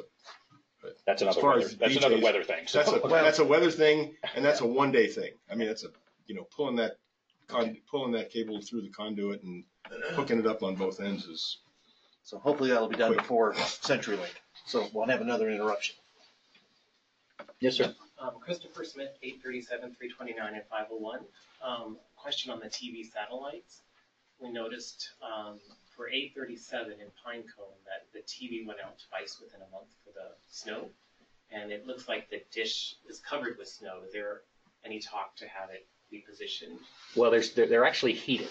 So if there, if, the if the snow wasn't melting, then likely, um, the heater or the element, whatever they do to melt it, wasn't, uh, functioning properly. It was more than that. There, I mean, they were buried in snow. Turned them off. They, I'm sorry, they turned, they turned the heater off? Is that what somebody Weren't the heaters turned off, Dave? No. Because I thought they were here in the the lodge, because it went out. And that uh, young kid you had said he had to go plug it back in. We had some go out, but we never turned them off. We're not talking about just a little snow on the dish. They were completely buried. Okay, I got you. So it's like a snowbank kind of thing. They're Okay. I mean, I, maybe Dave can address it, but they're not positioned right. They're too, they're too low. And so it's snowing and it's just piling all up on the dish. Okay, well, we, we probably didn't know that until we had snow, so. Um, do you know which one he's talking about there? Yeah. Okay, I mean, we can certainly have the guys look at it. I, again, you know, Is that something we need to address with Groove, Dave? we could look at it. I mean, some of it, we did have to go clear some snow that built up on roofs, but once again, we had five feet of Is that the snow. only antenna that we've had a problem with? We had two or three like that. I mean, The ones it that seems to me it would be easy, you know, just put them on a taller, taller stand. Yeah. Maybe. I mean, Dave, we talked to you about this earlier and you said you were gonna talk to Groove. We, we will, yeah. But I don't know what, what Because, the results. because the- I guess what I'm hearing now, it sounds sounds like it's all new information. No, no, I, I was aware of it. No, we'll, we'll address it with group. Yeah, Ron? Uh, 504, 505, Hyman, uh, just to follow on the TV, uh, we had an outage after being away for months and came back in and, and neither of our two TVs were operational. And it was a problem not with the satellite dish and not internally, but a simple telephone call to DirecTV. We have the same problem at the island when we have power down and it can't accept the pings from DirecTV to reactivate. Uh, do we not have twenty-four seven service from Group? And how is that supposed to work? Because we just got our TV back up after reporting it at six o'clock last night. Just curious. We have, we have support, right? We have support. Yeah. I mean, it's a phone call, yeah.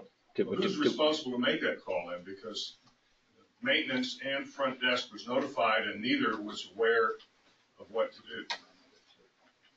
do. Um, I don't know what, like, do we want to give the owners the numbers directly? What, I don't, I don't know what that makes the most sense. We haven't, uh, had this long enough to really put Yeah, a we're process still in place. feeling our way around. That's new, that's what I'm asking. Yeah.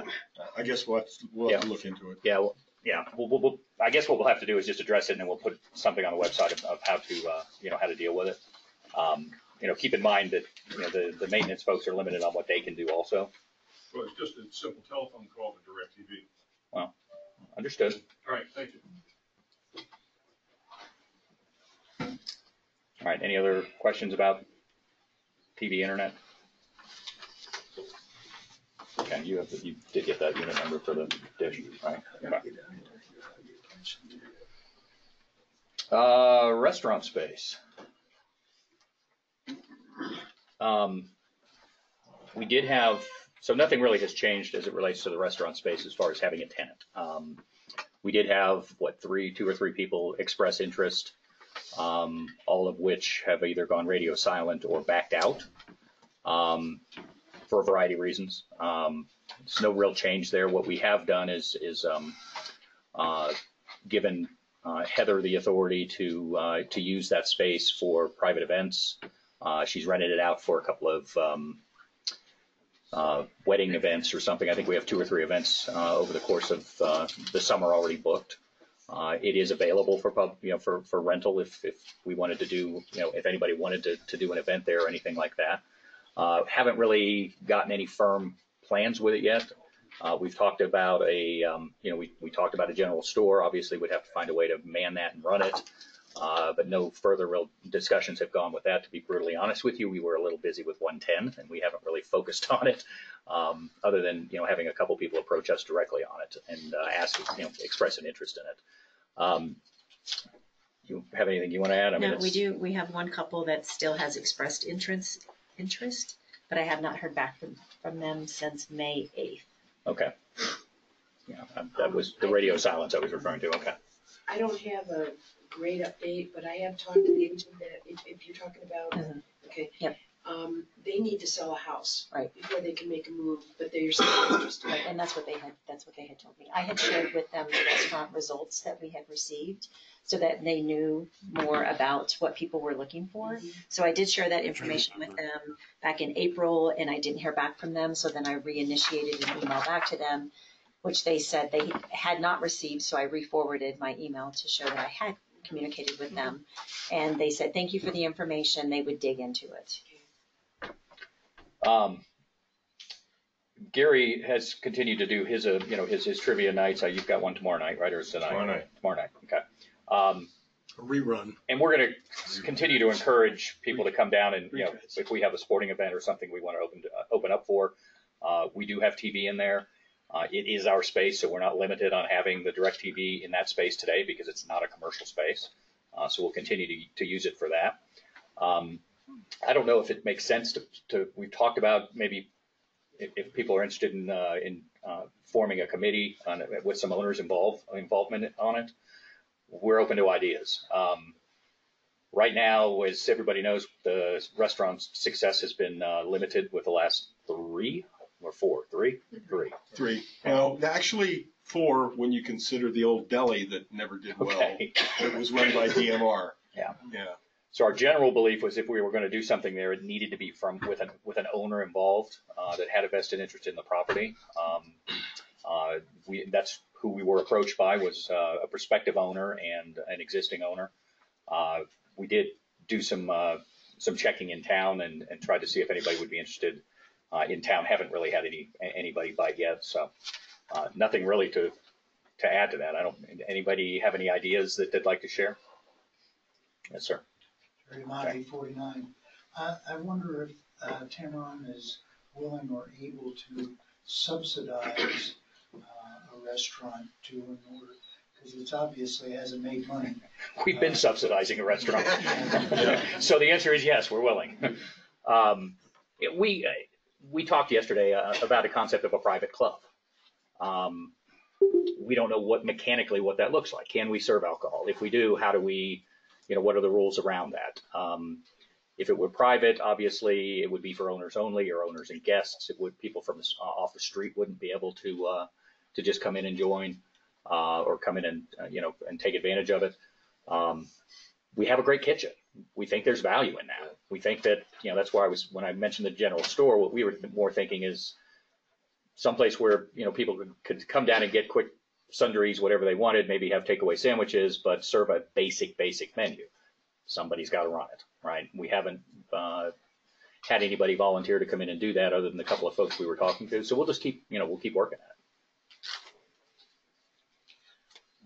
When is, uh, I, I know that uh, Heather has two things booked. When, when are they? July, June and October, I think. June and October? Yeah, weddings, wedding, uh, uh, rehearsal dinners.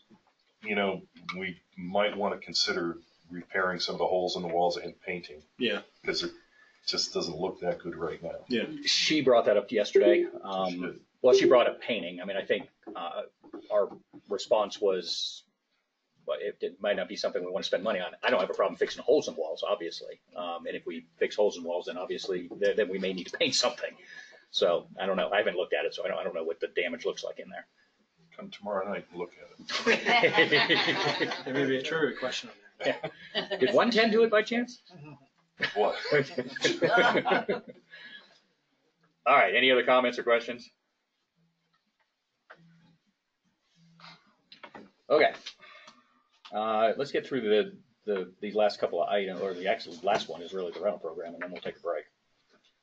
Um, rental program, um, inventory's down, uh, considerably. Well, There's, uh, uh, I just told Heather I'd give this for her, by the way. Um, I think historically Heather has, has had about 140, 130 units participating in the rental program. Uh, we're continuing to see a trend towards owners uh, buy properties here and uh, not opt to put them in the rental program. Uh, she currently has uh, 54 rentals that are part of the Tamarron Vacation Rentals program, another 44 that are VRBOs, and seven Purgatory properties. So it's down, it's down considerably. Uh, it's probably good news for the for, for those owners that are in the rental program because they may have um, uh, obviously more um, more activity as a result. Uh, we are, you know, we do anticipate continuing to see, um, uh, you know, stronger rentals because of the golf course. Uh, as we mentioned, the wedding parties. Uh, Glacier does. I don't even know how many weddings. Do you have any idea how many, Jim? Um, too new to. Yeah, you're too new to know. They did a boatload last year. That I know. Well, Heather, Heather said there was, Heather said there was like fourteen or fifteen events on the books over there Last year they had eleven. right now. Okay. And, and, and we're expecting that we'd get, uh, you know, lodging, lodging requests for that, if not, if not, uh, ancillary parties and meetings and things like that, but. Yeah, we uh, there was just a, a wedding I think last weekend, and we got a bunch of rentals out of that. So Yeah. yeah, we you know we, I think you know we, we expect to see that continue to, to pick up. Obviously, the amenities have helped out a lot. Um, having access to golf has helped out a lot. Um, you know, Ann is still Ann Dixon is still very active uh, marketing everything on, on in social media. Uh, we've got uh, a, a lot more activity there, uh, which again, it's very hard to measure uh, how that uh, you know turns into results. But you know, she she's been doing postings about Iron Horse, for example, for three months. Uh, I would guess we have people staying here uh, because of Iron Horse this weekend. So uh, we'll continue to do that. We'll continue to try to you know to, to try to drive that. Um, you know, certainly having the mine shaft, uh, has, you know, replaced what we, uh, you know, what, what we lost with Yellow Carrot, so that, that hasn't, really hurt us yet. Um, but, you know, we'll, we'll continue to see how this works out as far as, um, the, the rental program goes. The, um, I think, uh, you know, activity wise, uh, I think this last summer we we were up considerably last summer, uh, and we you know we think that's because of the amenities. So we're expecting the same thing this year. Ron, Can we get the yellow carrot signage removed? Yeah. You're working we, on we have a lot of spring projects that are kind of the to do list that didn't get done last year with Glacier that we're still working on. That is one of them. I was wondering yesterday when I drove in if I could just pull it off actually, but I don't think it's our sign. yeah, Jeff. Fifty percent our sign. It's fifty. Yeah, well, we paid for it. It is our sign. I- The one that's just on the wanted to- island right there? Is that ours? That's our sign. Okay, I wasn't sure. Jerry Q two six twenty-three, I wanted to um, acknowledge uh, Scott, Gary, Ann Dixon, and Heather for putting together that incredible newsletter uh, that just came out. That's the Thank first you. we've ever had, so thank you, it's it's wonderful. Well, Ann gets a lot of the credit because she was prodding me for six weeks. Scott, when are you going to get this done? So, um, but no, I appreciate it. I just felt like we needed to have um, some kind of communication uh, that's intended to continue quarterly. Uh, there's just not that much to report any more frequently than that, but you know, it's a good place to put the reminder, for example, about moving the cars. Uh, you know, subtle reminders like that, the recycling program reminders. You know, that's that's the idea of it. If uh, if people have ideas around it, feel free to you know submit them.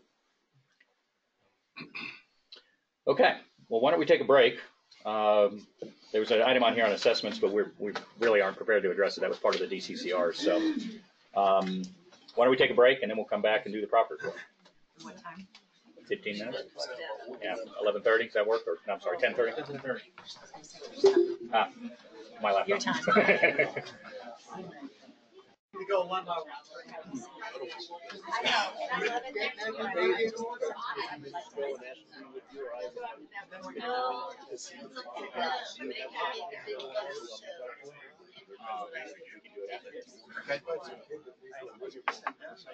You need a, All right. you need a Thank you. glass and a spoon. If you guys haven't figured it out, I'm all about making these meetings move. So I appreciate everybody sitting down. I work for a big company and I sit in a lot of damn meetings. So, um, okay. Uh, quickly, I, a couple things I want to address, and I, I'm going to take a moment to go off uh, go off script here because I want Dave to do his report, but then he has other things he needs to do. First of all, um, uh, Ron, to answer your question, you want to pop that up there? Yeah. On the website, HOA or TamarronHOA.com. I'm having trouble connecting to the internet. Check your Who'd you piss off? Somebody answer Siri. That's CenturyLink. They want to hook up. Right, exactly. Under telecom info. There is a uh, information here about who you contact uh, if your TV isn't working. If, if anybody that has never had DirecTV, that signal uh, or that, that dish in that box looks for a signal on a constant basis. If it, if it is not communicated with on a regular basis, it will shut off. And you will get a 772 or a 771 error or something like that, which is 772, which I'm guessing is what Seven- Ron This was. is, this is in the FAQs, right? Yeah, this is in the FAQs.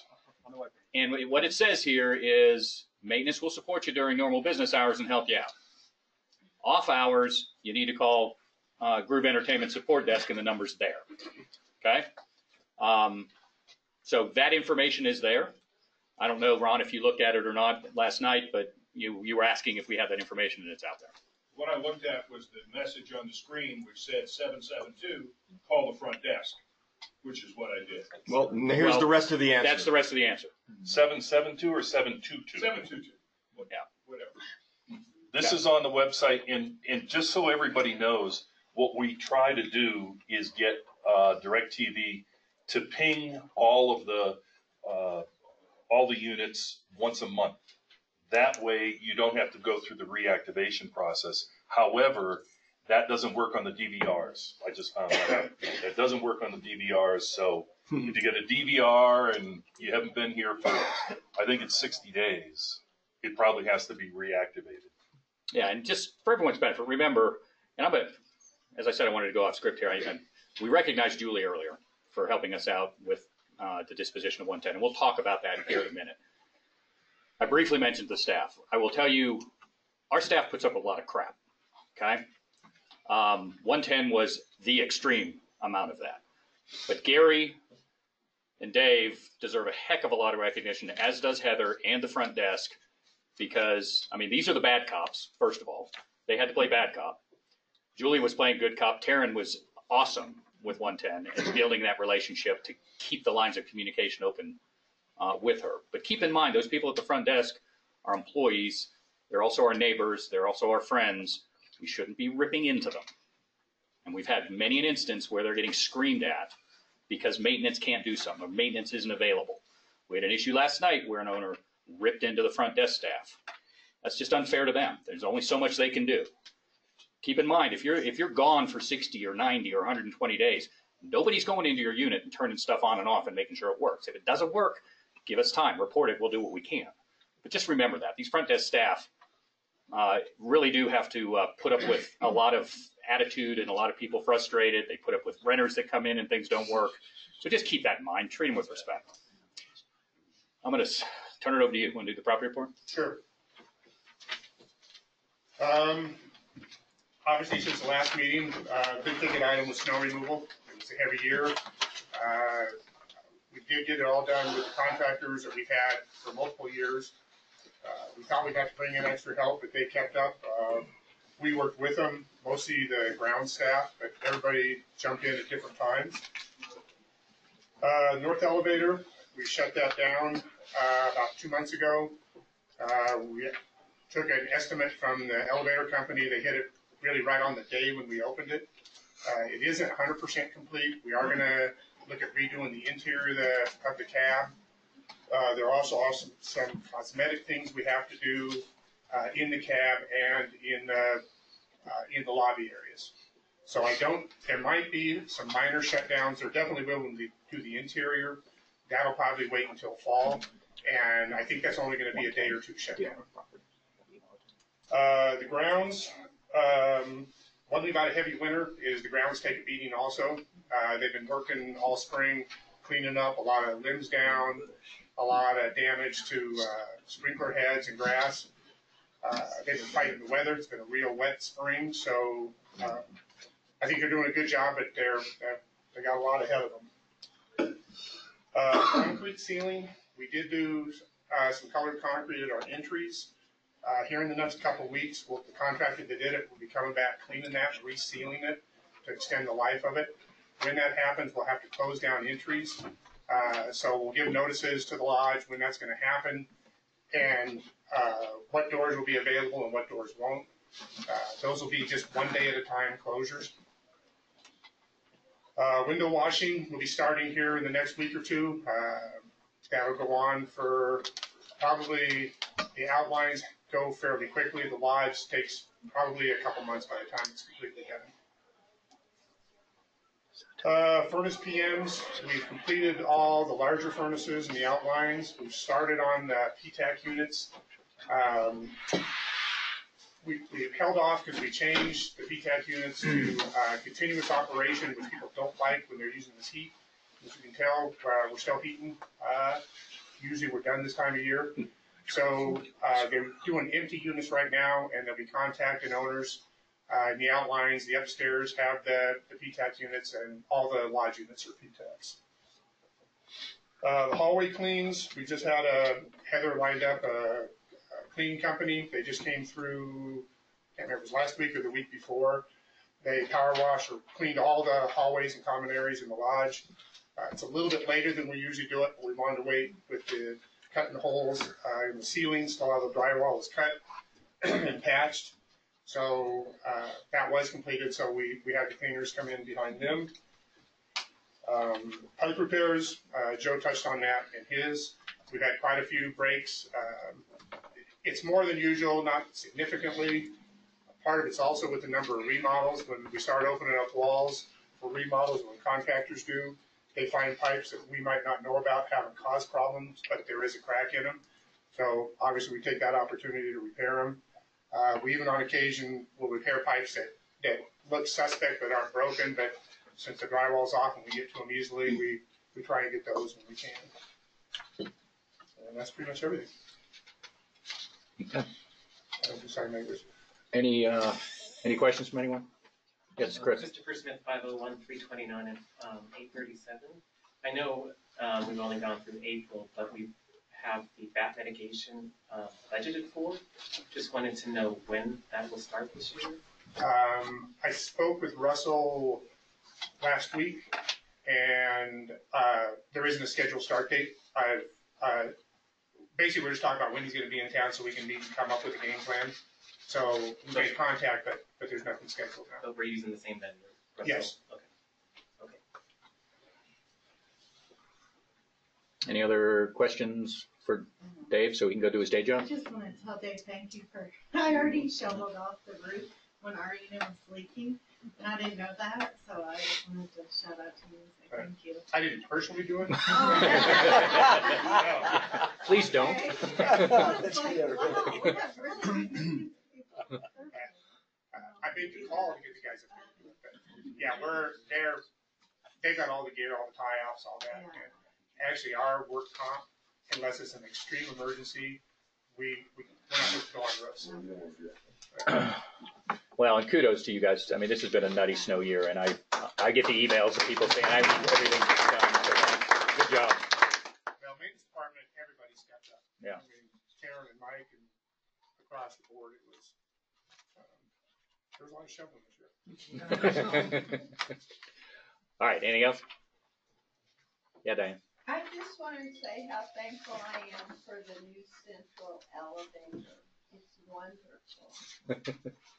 Good, yeah, it's, that was a problem when it was breaking down a lot and hopefully that's, those days are over. Smooth. It's Really nice. If you haven't ridden it, go for it. Go for a ride. Charging people and taking- Yeah.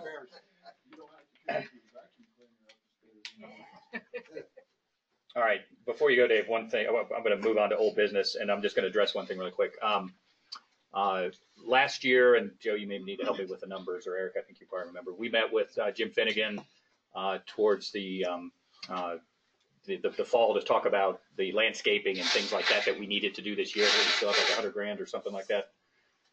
For the- for the landscaping for everything that was left over from the lodge remodel. Yeah, it's, it's fifty thousand. Fifty thousand.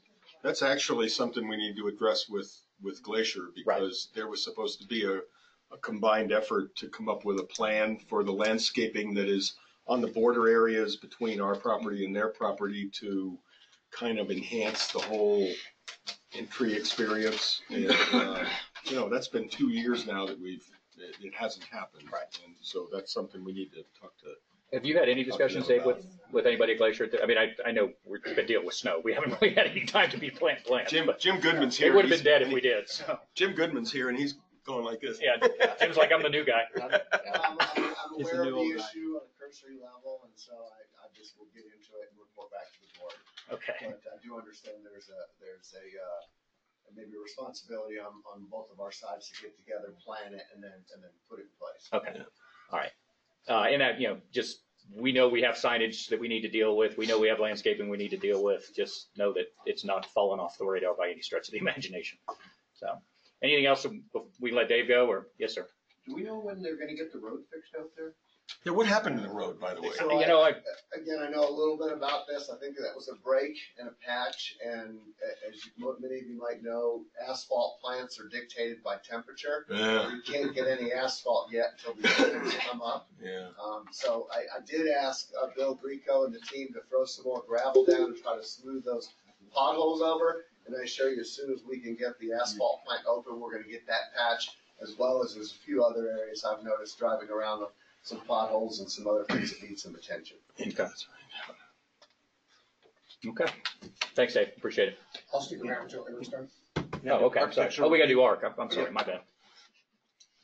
You ready to move on? Go ahead. Let's do Okay. ARC. All right, um, acting, um, for, for Rick, who started this process and as we know is now off being a grandfather.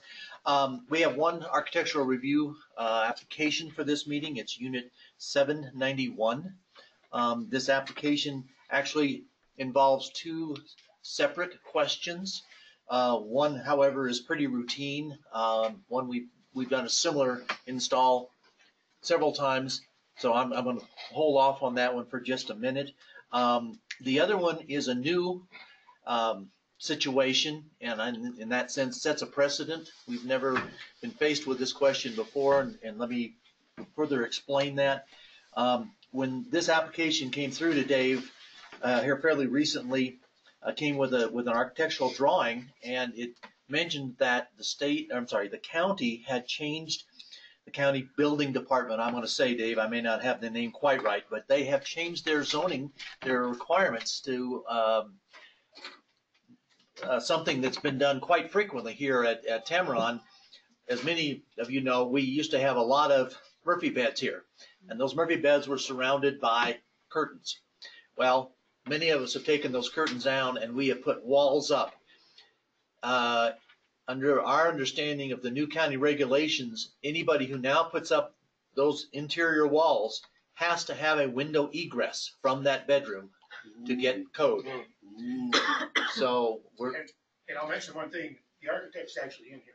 Okay. Keegan, so if there is a question on the code, he, he can address that. okay, so, I mean, so this is, this is a county regulation that applies to any new construction, not to existing Correct, it's, supposedly grandfathered. so, it- yeah, stuff is grandfathered in if it was done before this, but when I turned in to get a building permit, um, the county has adopted the two thousand twelve International Building Code. Yeah. And so the difference from the older code to that one is the newer code requires, uh, you know, buildings a bit like this, condos to be sprinklered, sprinkled.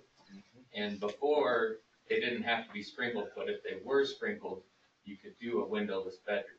But now, every R two building is required to be sprinkled, so now you have to have the egress window.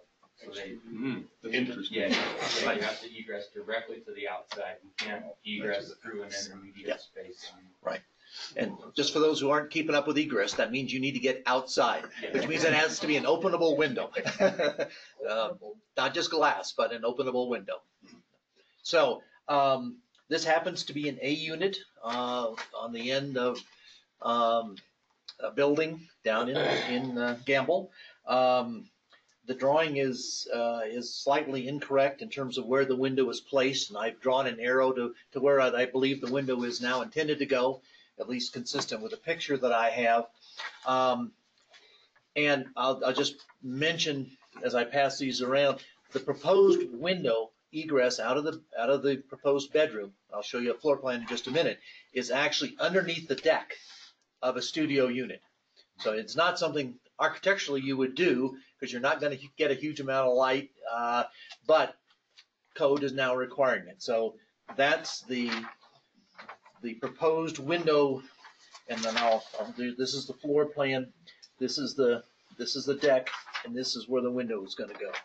So likewise, this is, uh, this is the, the deck here, and they're proposing to put the window right there, so you can, that's, so you can see that's the,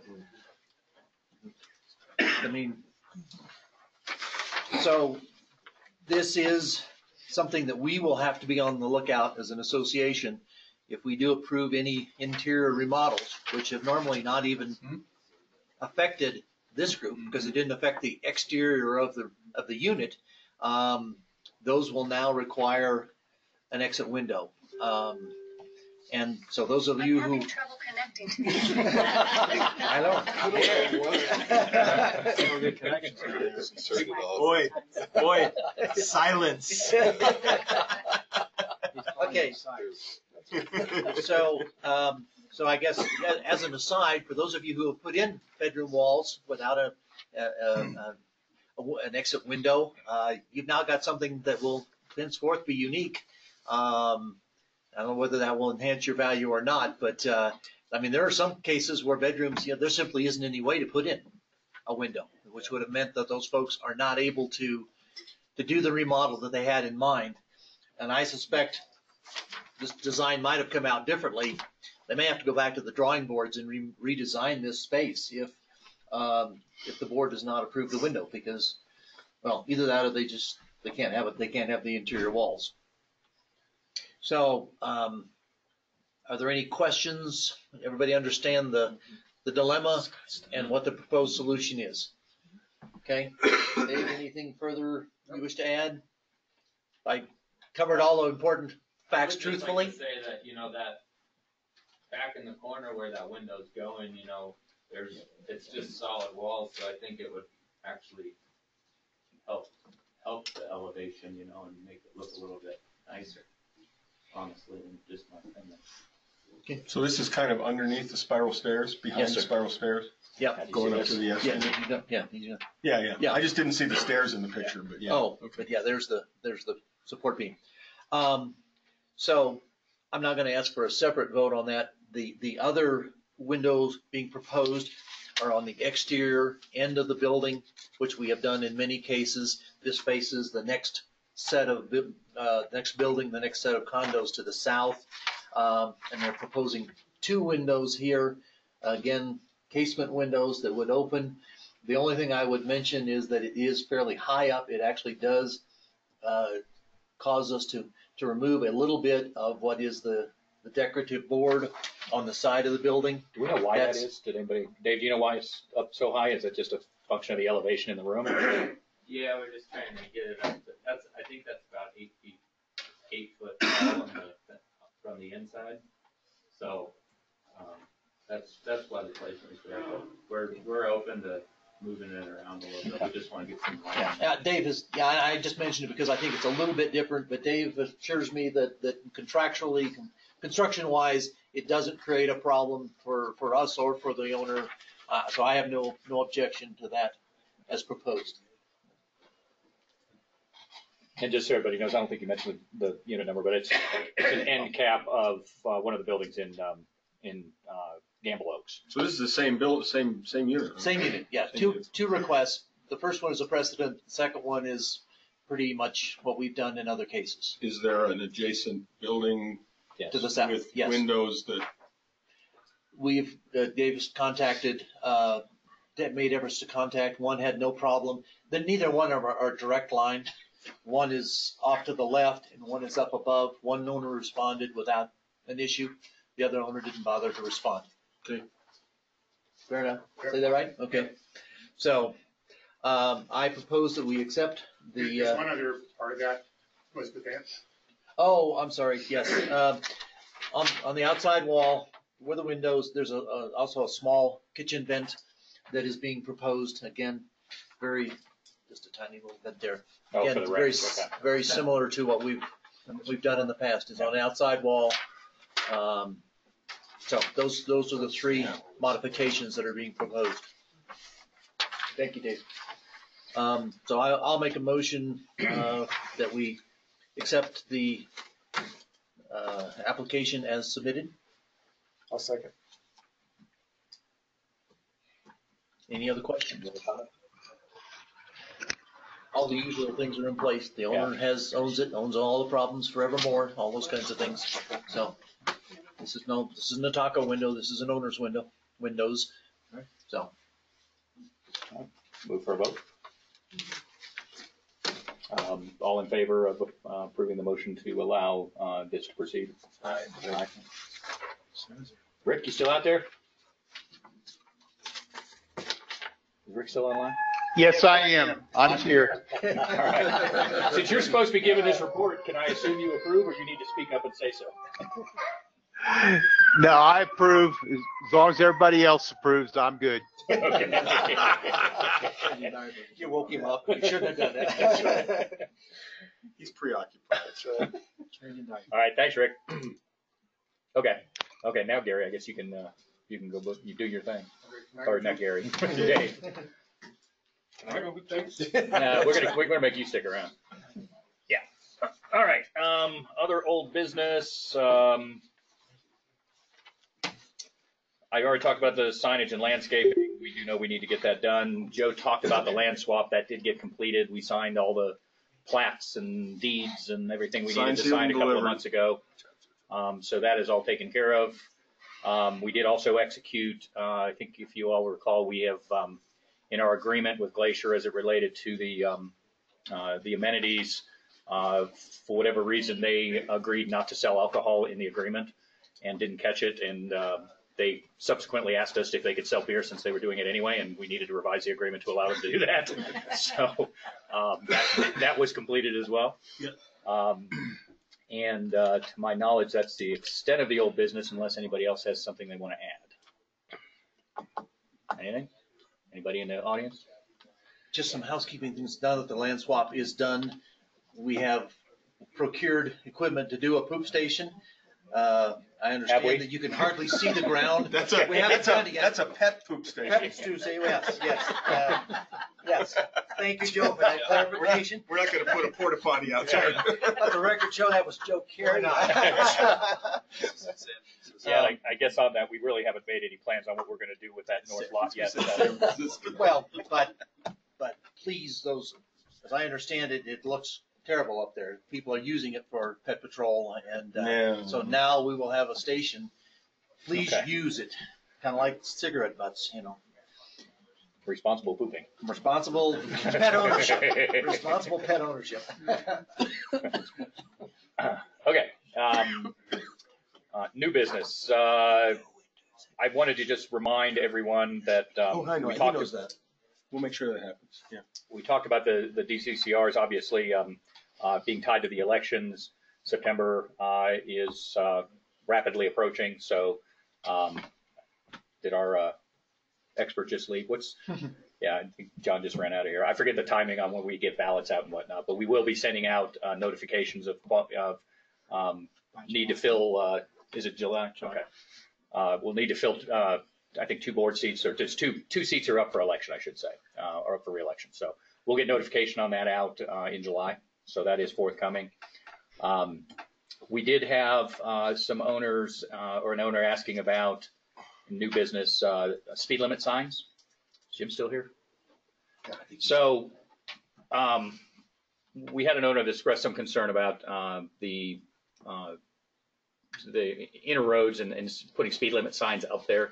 Uh, you know, obviously coming down the hill from Gamble, I think we've got people who were I had some- exceedingly fast coming down that hill. I had somebody in a Porsche yesterday blow by me right past the, uh, the comfort station between Pine Cone and Gamble Oak.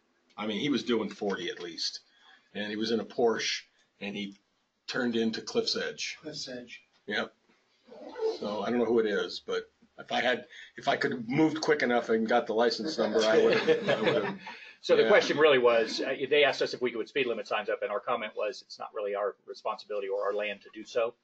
Um, have you guys had any discussions about that, or has that come up at all? Refresh my memory, I thought there was a speed limit. There, sign. there's speed limit signs out there. We're just talking about what, putting more up? Well, Is that- Yeah, I, who was it? I think it was Kimberly McKnight that brought it up. Is she here? She's not here. Okay. Well, I, I, I, you know, honestly, I haven't paid enough attention to even know what the speed limit signs Yeah, are, I so. thought I recalled at least seeing one speed limit sign on property, but I- I'll go out and drive around and figure out where they're at. I'll, again, I'll come back to the board. I think, I think it would be good if both organizations enfor, you know, communicate that, hey, the on-property speed limit is fifteen miles an hour. Yeah, I was gonna Let's- say, the other part we do, t- as you remember, Joe, is we frequently each spring communicate in our newsletters to refresh them about wildlife and speeding and smoking and, and, you know, all of these other. all that good stuff. items. So, uh, that, that, that communication's coming out imminently. Okay. So we'll continue to work with the membership on that. Okay. Um, any other, uh, well, I want to address one ten. Let's, let's go ahead and get that done, and then we'll go on to other, other new business. You have something else? I had something that came up when I, at the break. Um, wondering if Gary, technically it's possible to take the discussion on smoking, the third here, and put it, just that segment on the internet or on our website so that anybody who's, wants to kind of catch up on what took place here today can go access that and listen to just that ten minute segment? Should be able to, yeah. That's fine. Can we do that? Yeah, I mean, I, we, that's, we're putting it out there for comment for a reason, so whatever makes it easier. You're talking about the audio. The audio. Just the audio, yeah. Okay, um, as I mentioned early on, um, we acquired Unit one ten yesterday at approximately twelve thirty-two. So We are now proud owner of Unit 110. And trust me, we were all monitoring that signature very closely. Um, So uh, obviously, the association now owns um, a unit that's unusually situated in the middle of a floor that, um, you know, we have to make a determination as to what we're going to do with it. Um, When we looked at acquiring uh, the unit, um, uh, Julie was able to get into the unit several times. Uh, Ashley Arsenault, who was the owner, uh, did do a significant amount of remodeling to it already. Um, she basically remodeled the whole thing because her intent was to sell the property. Um, uh, at this stage, we really haven't made it, had any discussions whatsoever as to what we were planning to do with it, other than um, having a discussion if we could acquire it. Um, as I mentioned, this all came into place uh, starting at probably 5:30 uh, Monday afternoon. Uh, the offer uh, was accepted, and we I think threw it out there probably five or six times starting six eight weeks ago. Um, so we really haven't had, had had zero discussion about what we want to do with it. We have several options. Um, I mentioned the fact that our rental uh, units uh, inventory is down. We could certainly look at it being a short-term rental. We look at it being a long-term rental. Uh, we could turn around and just resell it right away. Uh, none of that has been determined. So our thought was um, to uh, basically have a, a committee of the board sit down and start uh, analyzing what, what the best options are. Uh, certainly, we're entering uh, the busiest part of the year from a rental perspective, or a, a- one of the busier parts of the year. Um, I will tell you, there is nothing other than a dresser. I think she got rid of the TV, if I understand correctly. Is that? She did. There's She a did. microwave in there. There's a microwave and a dresser, so we obviously have to. The TV's gone. TV's gone. There's no plates, no forks, no And I, spoons, no and my, my understanding was there was going to be How somebody. did she eat? My, my understanding was there's somebody going to be coming to pick up the mattress that was on. the That's floor. already gone. Yeah, It's that- gone? That, that was gone yesterday afternoon. Yeah, okay. So um, There's a dresser and a microwave. And that's. Okay. So yeah, personally, I think we need to create a committee to do that. And um, I, Ron, you want to make a motion? on I that? have a motion. I make a motion that the president of the board be given the discretion to form a committee relative to the management or disposition of Unit 110 recently acquired by the association. Okay. Do we have a second? A second. Okay. Do we have discussion? So That's the only thing I would, I, I, at this point, it's a common element. Yep. It's under the board's authority. Um, I think, you know, the- the only thing that I would, might add to that motion would be some kind of fiscal uh, power. I mean, I assume you're gonna buy a bed, you're gonna buy, you know, we're gonna have to spend some money and I. If we rent it, we Joe's will. agonizing I over would, there, I'm but, agonizing here because I would like to offer something that needs to be considered. okay, In our declarations, the disposition of a common element requires a vote of the owners. Oh, totally does. Yeah. Yes. Yep. So you need to consider that if we're talking about That's reselling it. why I want to have a committee to start looking at that. It might make sense to rent it until such time that we Yeah. have the vote. in We the might summer. just I want to don't hold know. on, to- hunt- hold on to it for a while and, you know, That's correct. and let it, maybe let it appreciate a little more. Now that we have that, now that we have that cancer out of here, you know, maybe the lodge values will start to climb a Might little make more better. money than a CD. I can guarantee you that. Um, all right. Any other comments from the board? So I guess my own, again, just to finish that thought, um, yeah, we do have some un, uh, designated capital funds in our two thousand nineteen budget. We do. I would suggest that, you know, we authorize the committee with the approval of the president to spend, you know, up to probably four thousand bucks to get this thing fully We, operational and we also have reserves and moving asset, moving cash assets to a hard asset is a, we're not, you know. Well, it's a wash to the balance. It's a wash to the balance sheet, so, you know, and then when we sell it, it goes back to cash, so we also could use some of our reserves. And Julie does believe we do have some decent furniture floating around here somewhere that No, we can yeah, look yeah, at that too. too, so- yeah. Yeah, it's mostly in the cages underneath the building. I got some down there myself. I'll donate.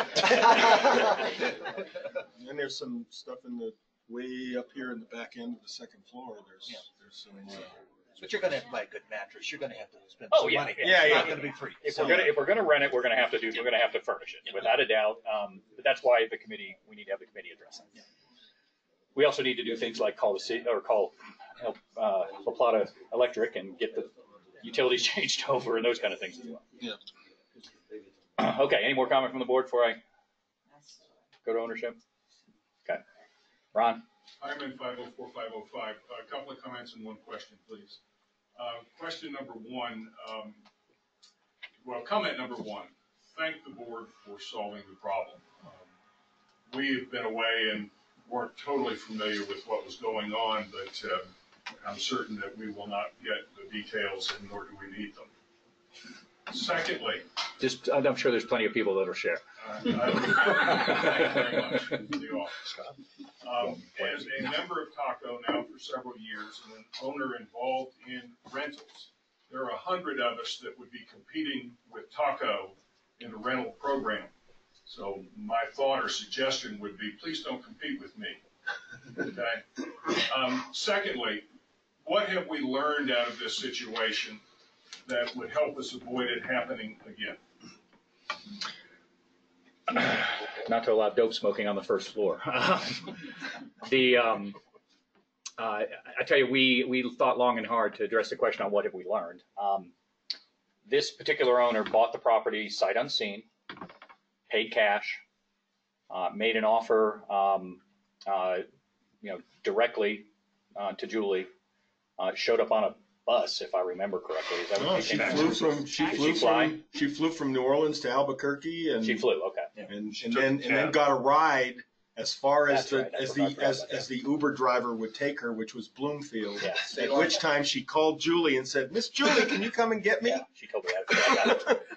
So, um, you know, certainly, and I can assure you, and I wish Julie were here, uh, but I'm kind of glad she isn't because she'd probably break down trying to explain it. Um, Julie felt horrible about how this thing played out. Um, I can assure you that Julie is going to think twice the next time a cash offer comes in for somebody that has never seen the property. That being said, there's not a whole lot we can do when a seller accepts an offer and it's a cash offer. Um, we can't, uh, we talked about doing background checks. Okay. We could do a background check. What does a background check do for us though? It tells, it it tells, uh, can we preclude them? I mean, can we say they can't live here? If we do, are we, you know, could we be challenged with that? Didn't Taco have to approve every owner in here? Nope. No. Owners? No. Nope. We sign off. We They- sign we off. sign off. Yes, you do sign off. Each, each owner, each new owner has to fill out certain documents, acknowledge rules and regulations and such. But we don't have a, we don't have approval authority over a sale. As long as the paperwork is submitted properly, the sale goes through. And what's our exposure if we do? What if we start doing background checks tomorrow, but we don't do background checks of any of you guys in the room? And something turns up that we didn't know about, and somebody challenges the fact that we didn't do background checks. It's a slippery legal slope to start doing background We've, checks. we've on our discussed own. it with legal counsel. But, but we require background checks on all of our long-term tenants. On our renters, That's on our different. renters, we do. That's different. No, well, yeah, because we, go- we pick on just long-term tenants at this point. Well, you can't, think about, You can't do it. think about the logistics it's- of doing that on we're- a short-term rental. Well, we're just already on that slippery slope is my point. Yeah, yeah, that's not gonna happen. The slippery slope is already, we're already on the slope. is what Yeah, I'm I saying. think it's a So- different, I think it's a different slope entirely. And, and trust me, Christina very Well- adamantly thinks it's a different slope. There's, there's, I'll speak Boyd in My Texas, board, my I'm in board in Texas, I'm on the HOA board, we do. Oh, you got Texas and Florida, come on, It's a throw, throw background those check. out. Uh, They do a soft pull on a credit, they put three references, uh, you know. Uh, Trust me, I- Julie, Ju- I mean, Christina would like to understand how that works a little better. She was, she does not feel in Colorado I'm that not is saying it's they- right. Yeah. But I'm just saying that's what we do. I'd it's legal. We talked about it, believe me. We, we, we wish we would have been able to do something different, but the reality is we, we didn't and we couldn't do anything after the fact. Um, I'm sorry, Diane, not Diane first. Yeah. Um, is there a way that you could request a potential buyer to sign off on something that then gives you legal rights? To do what? Yeah, I don't know, like. You can't do a background, you can't do a background check on potential buyers? We can, but then what action do we take and what exposure do we, uh, accept by doing so? That's the question. And how far back do you go? And how far, yeah, how far back do we go? The only way. What if, what if, what if somebody got a, What if somebody did something when they were 18 and they're 52 now, and we get called on it, right? I mean, how, how do we how do we interpret that? How do we how do we pass judgment on somebody's background? Uh, It's just a you know I, I'm not opposed to it, but Christina doesn't feel comfortable. with it. Supreme Court nominee, Kavanaugh. There were warrants for arrest in No, he's a justice now. um, you know, new, when, when, don't they put a date on these things? Do you not know the date of?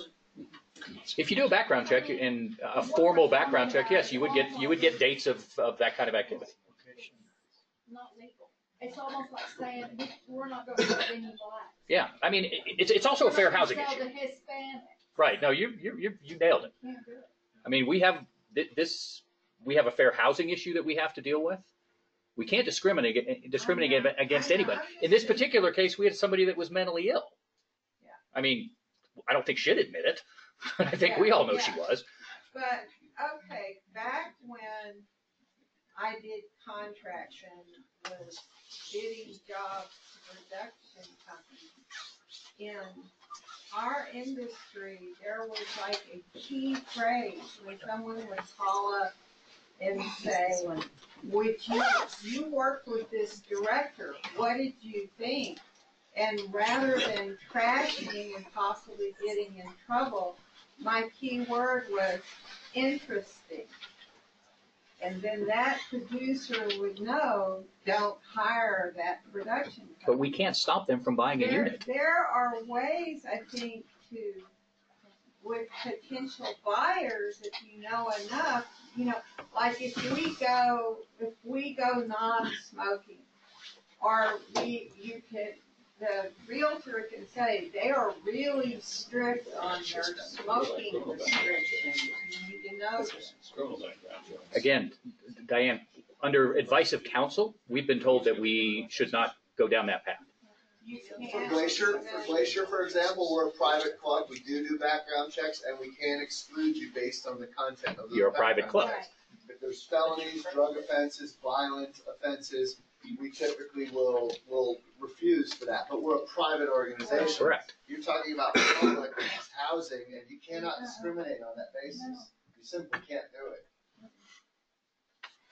Sorry to. put my- No, no, no, I'm- thanks for, thank you for filling it in. That's what I was referencing when I talked about fair housing. I mean, we just can't do it. What I'm saying, I know, but it seems to me Yes. that Keep that. a realtor has some control, not a lot, but you lose your license. Di- Diane, that- unfortunately, they, they don't. They have fiduciary responsibility to, to that, to, to their, uh, to the person they represent. Yeah. So, Terry. Okay. Uh, Terry Lott, eight forty-nine. I have to keep remembering that number. Uh, You were talking about uh, redoing the apartment or furnishing it and so on, and there was a comment about uh, competing with the rental market. I wonder if it might be an idea to make it very handicap uh, accessible with, to encourage uh, uh, handicapped people to be on the first floor. And uh, that it might uh, help with the, the rental market to have a handicapped. That's certainly a consideration. Yeah, that's fine. Yeah, I mean, that's, again, that's why we want the committee to, to, to address and see what makes the most sense. Um, you know, I'm in the rental market too. I'm, I'm in, the- I'm in the rental pool too. Um, do I consider a competition? Not really. I mean, any, any person that buys a property can convert theirs to a rental and I've got another competitor, right? Inventory is dropping, not- In- not Inventory is growing. half of what it was. Yeah.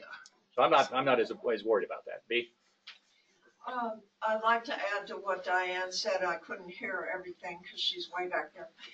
I think a non-smoking building would eliminate a certain type of client. So do we. You know what I mean? And I got to know this woman a little bit because I saw her every day.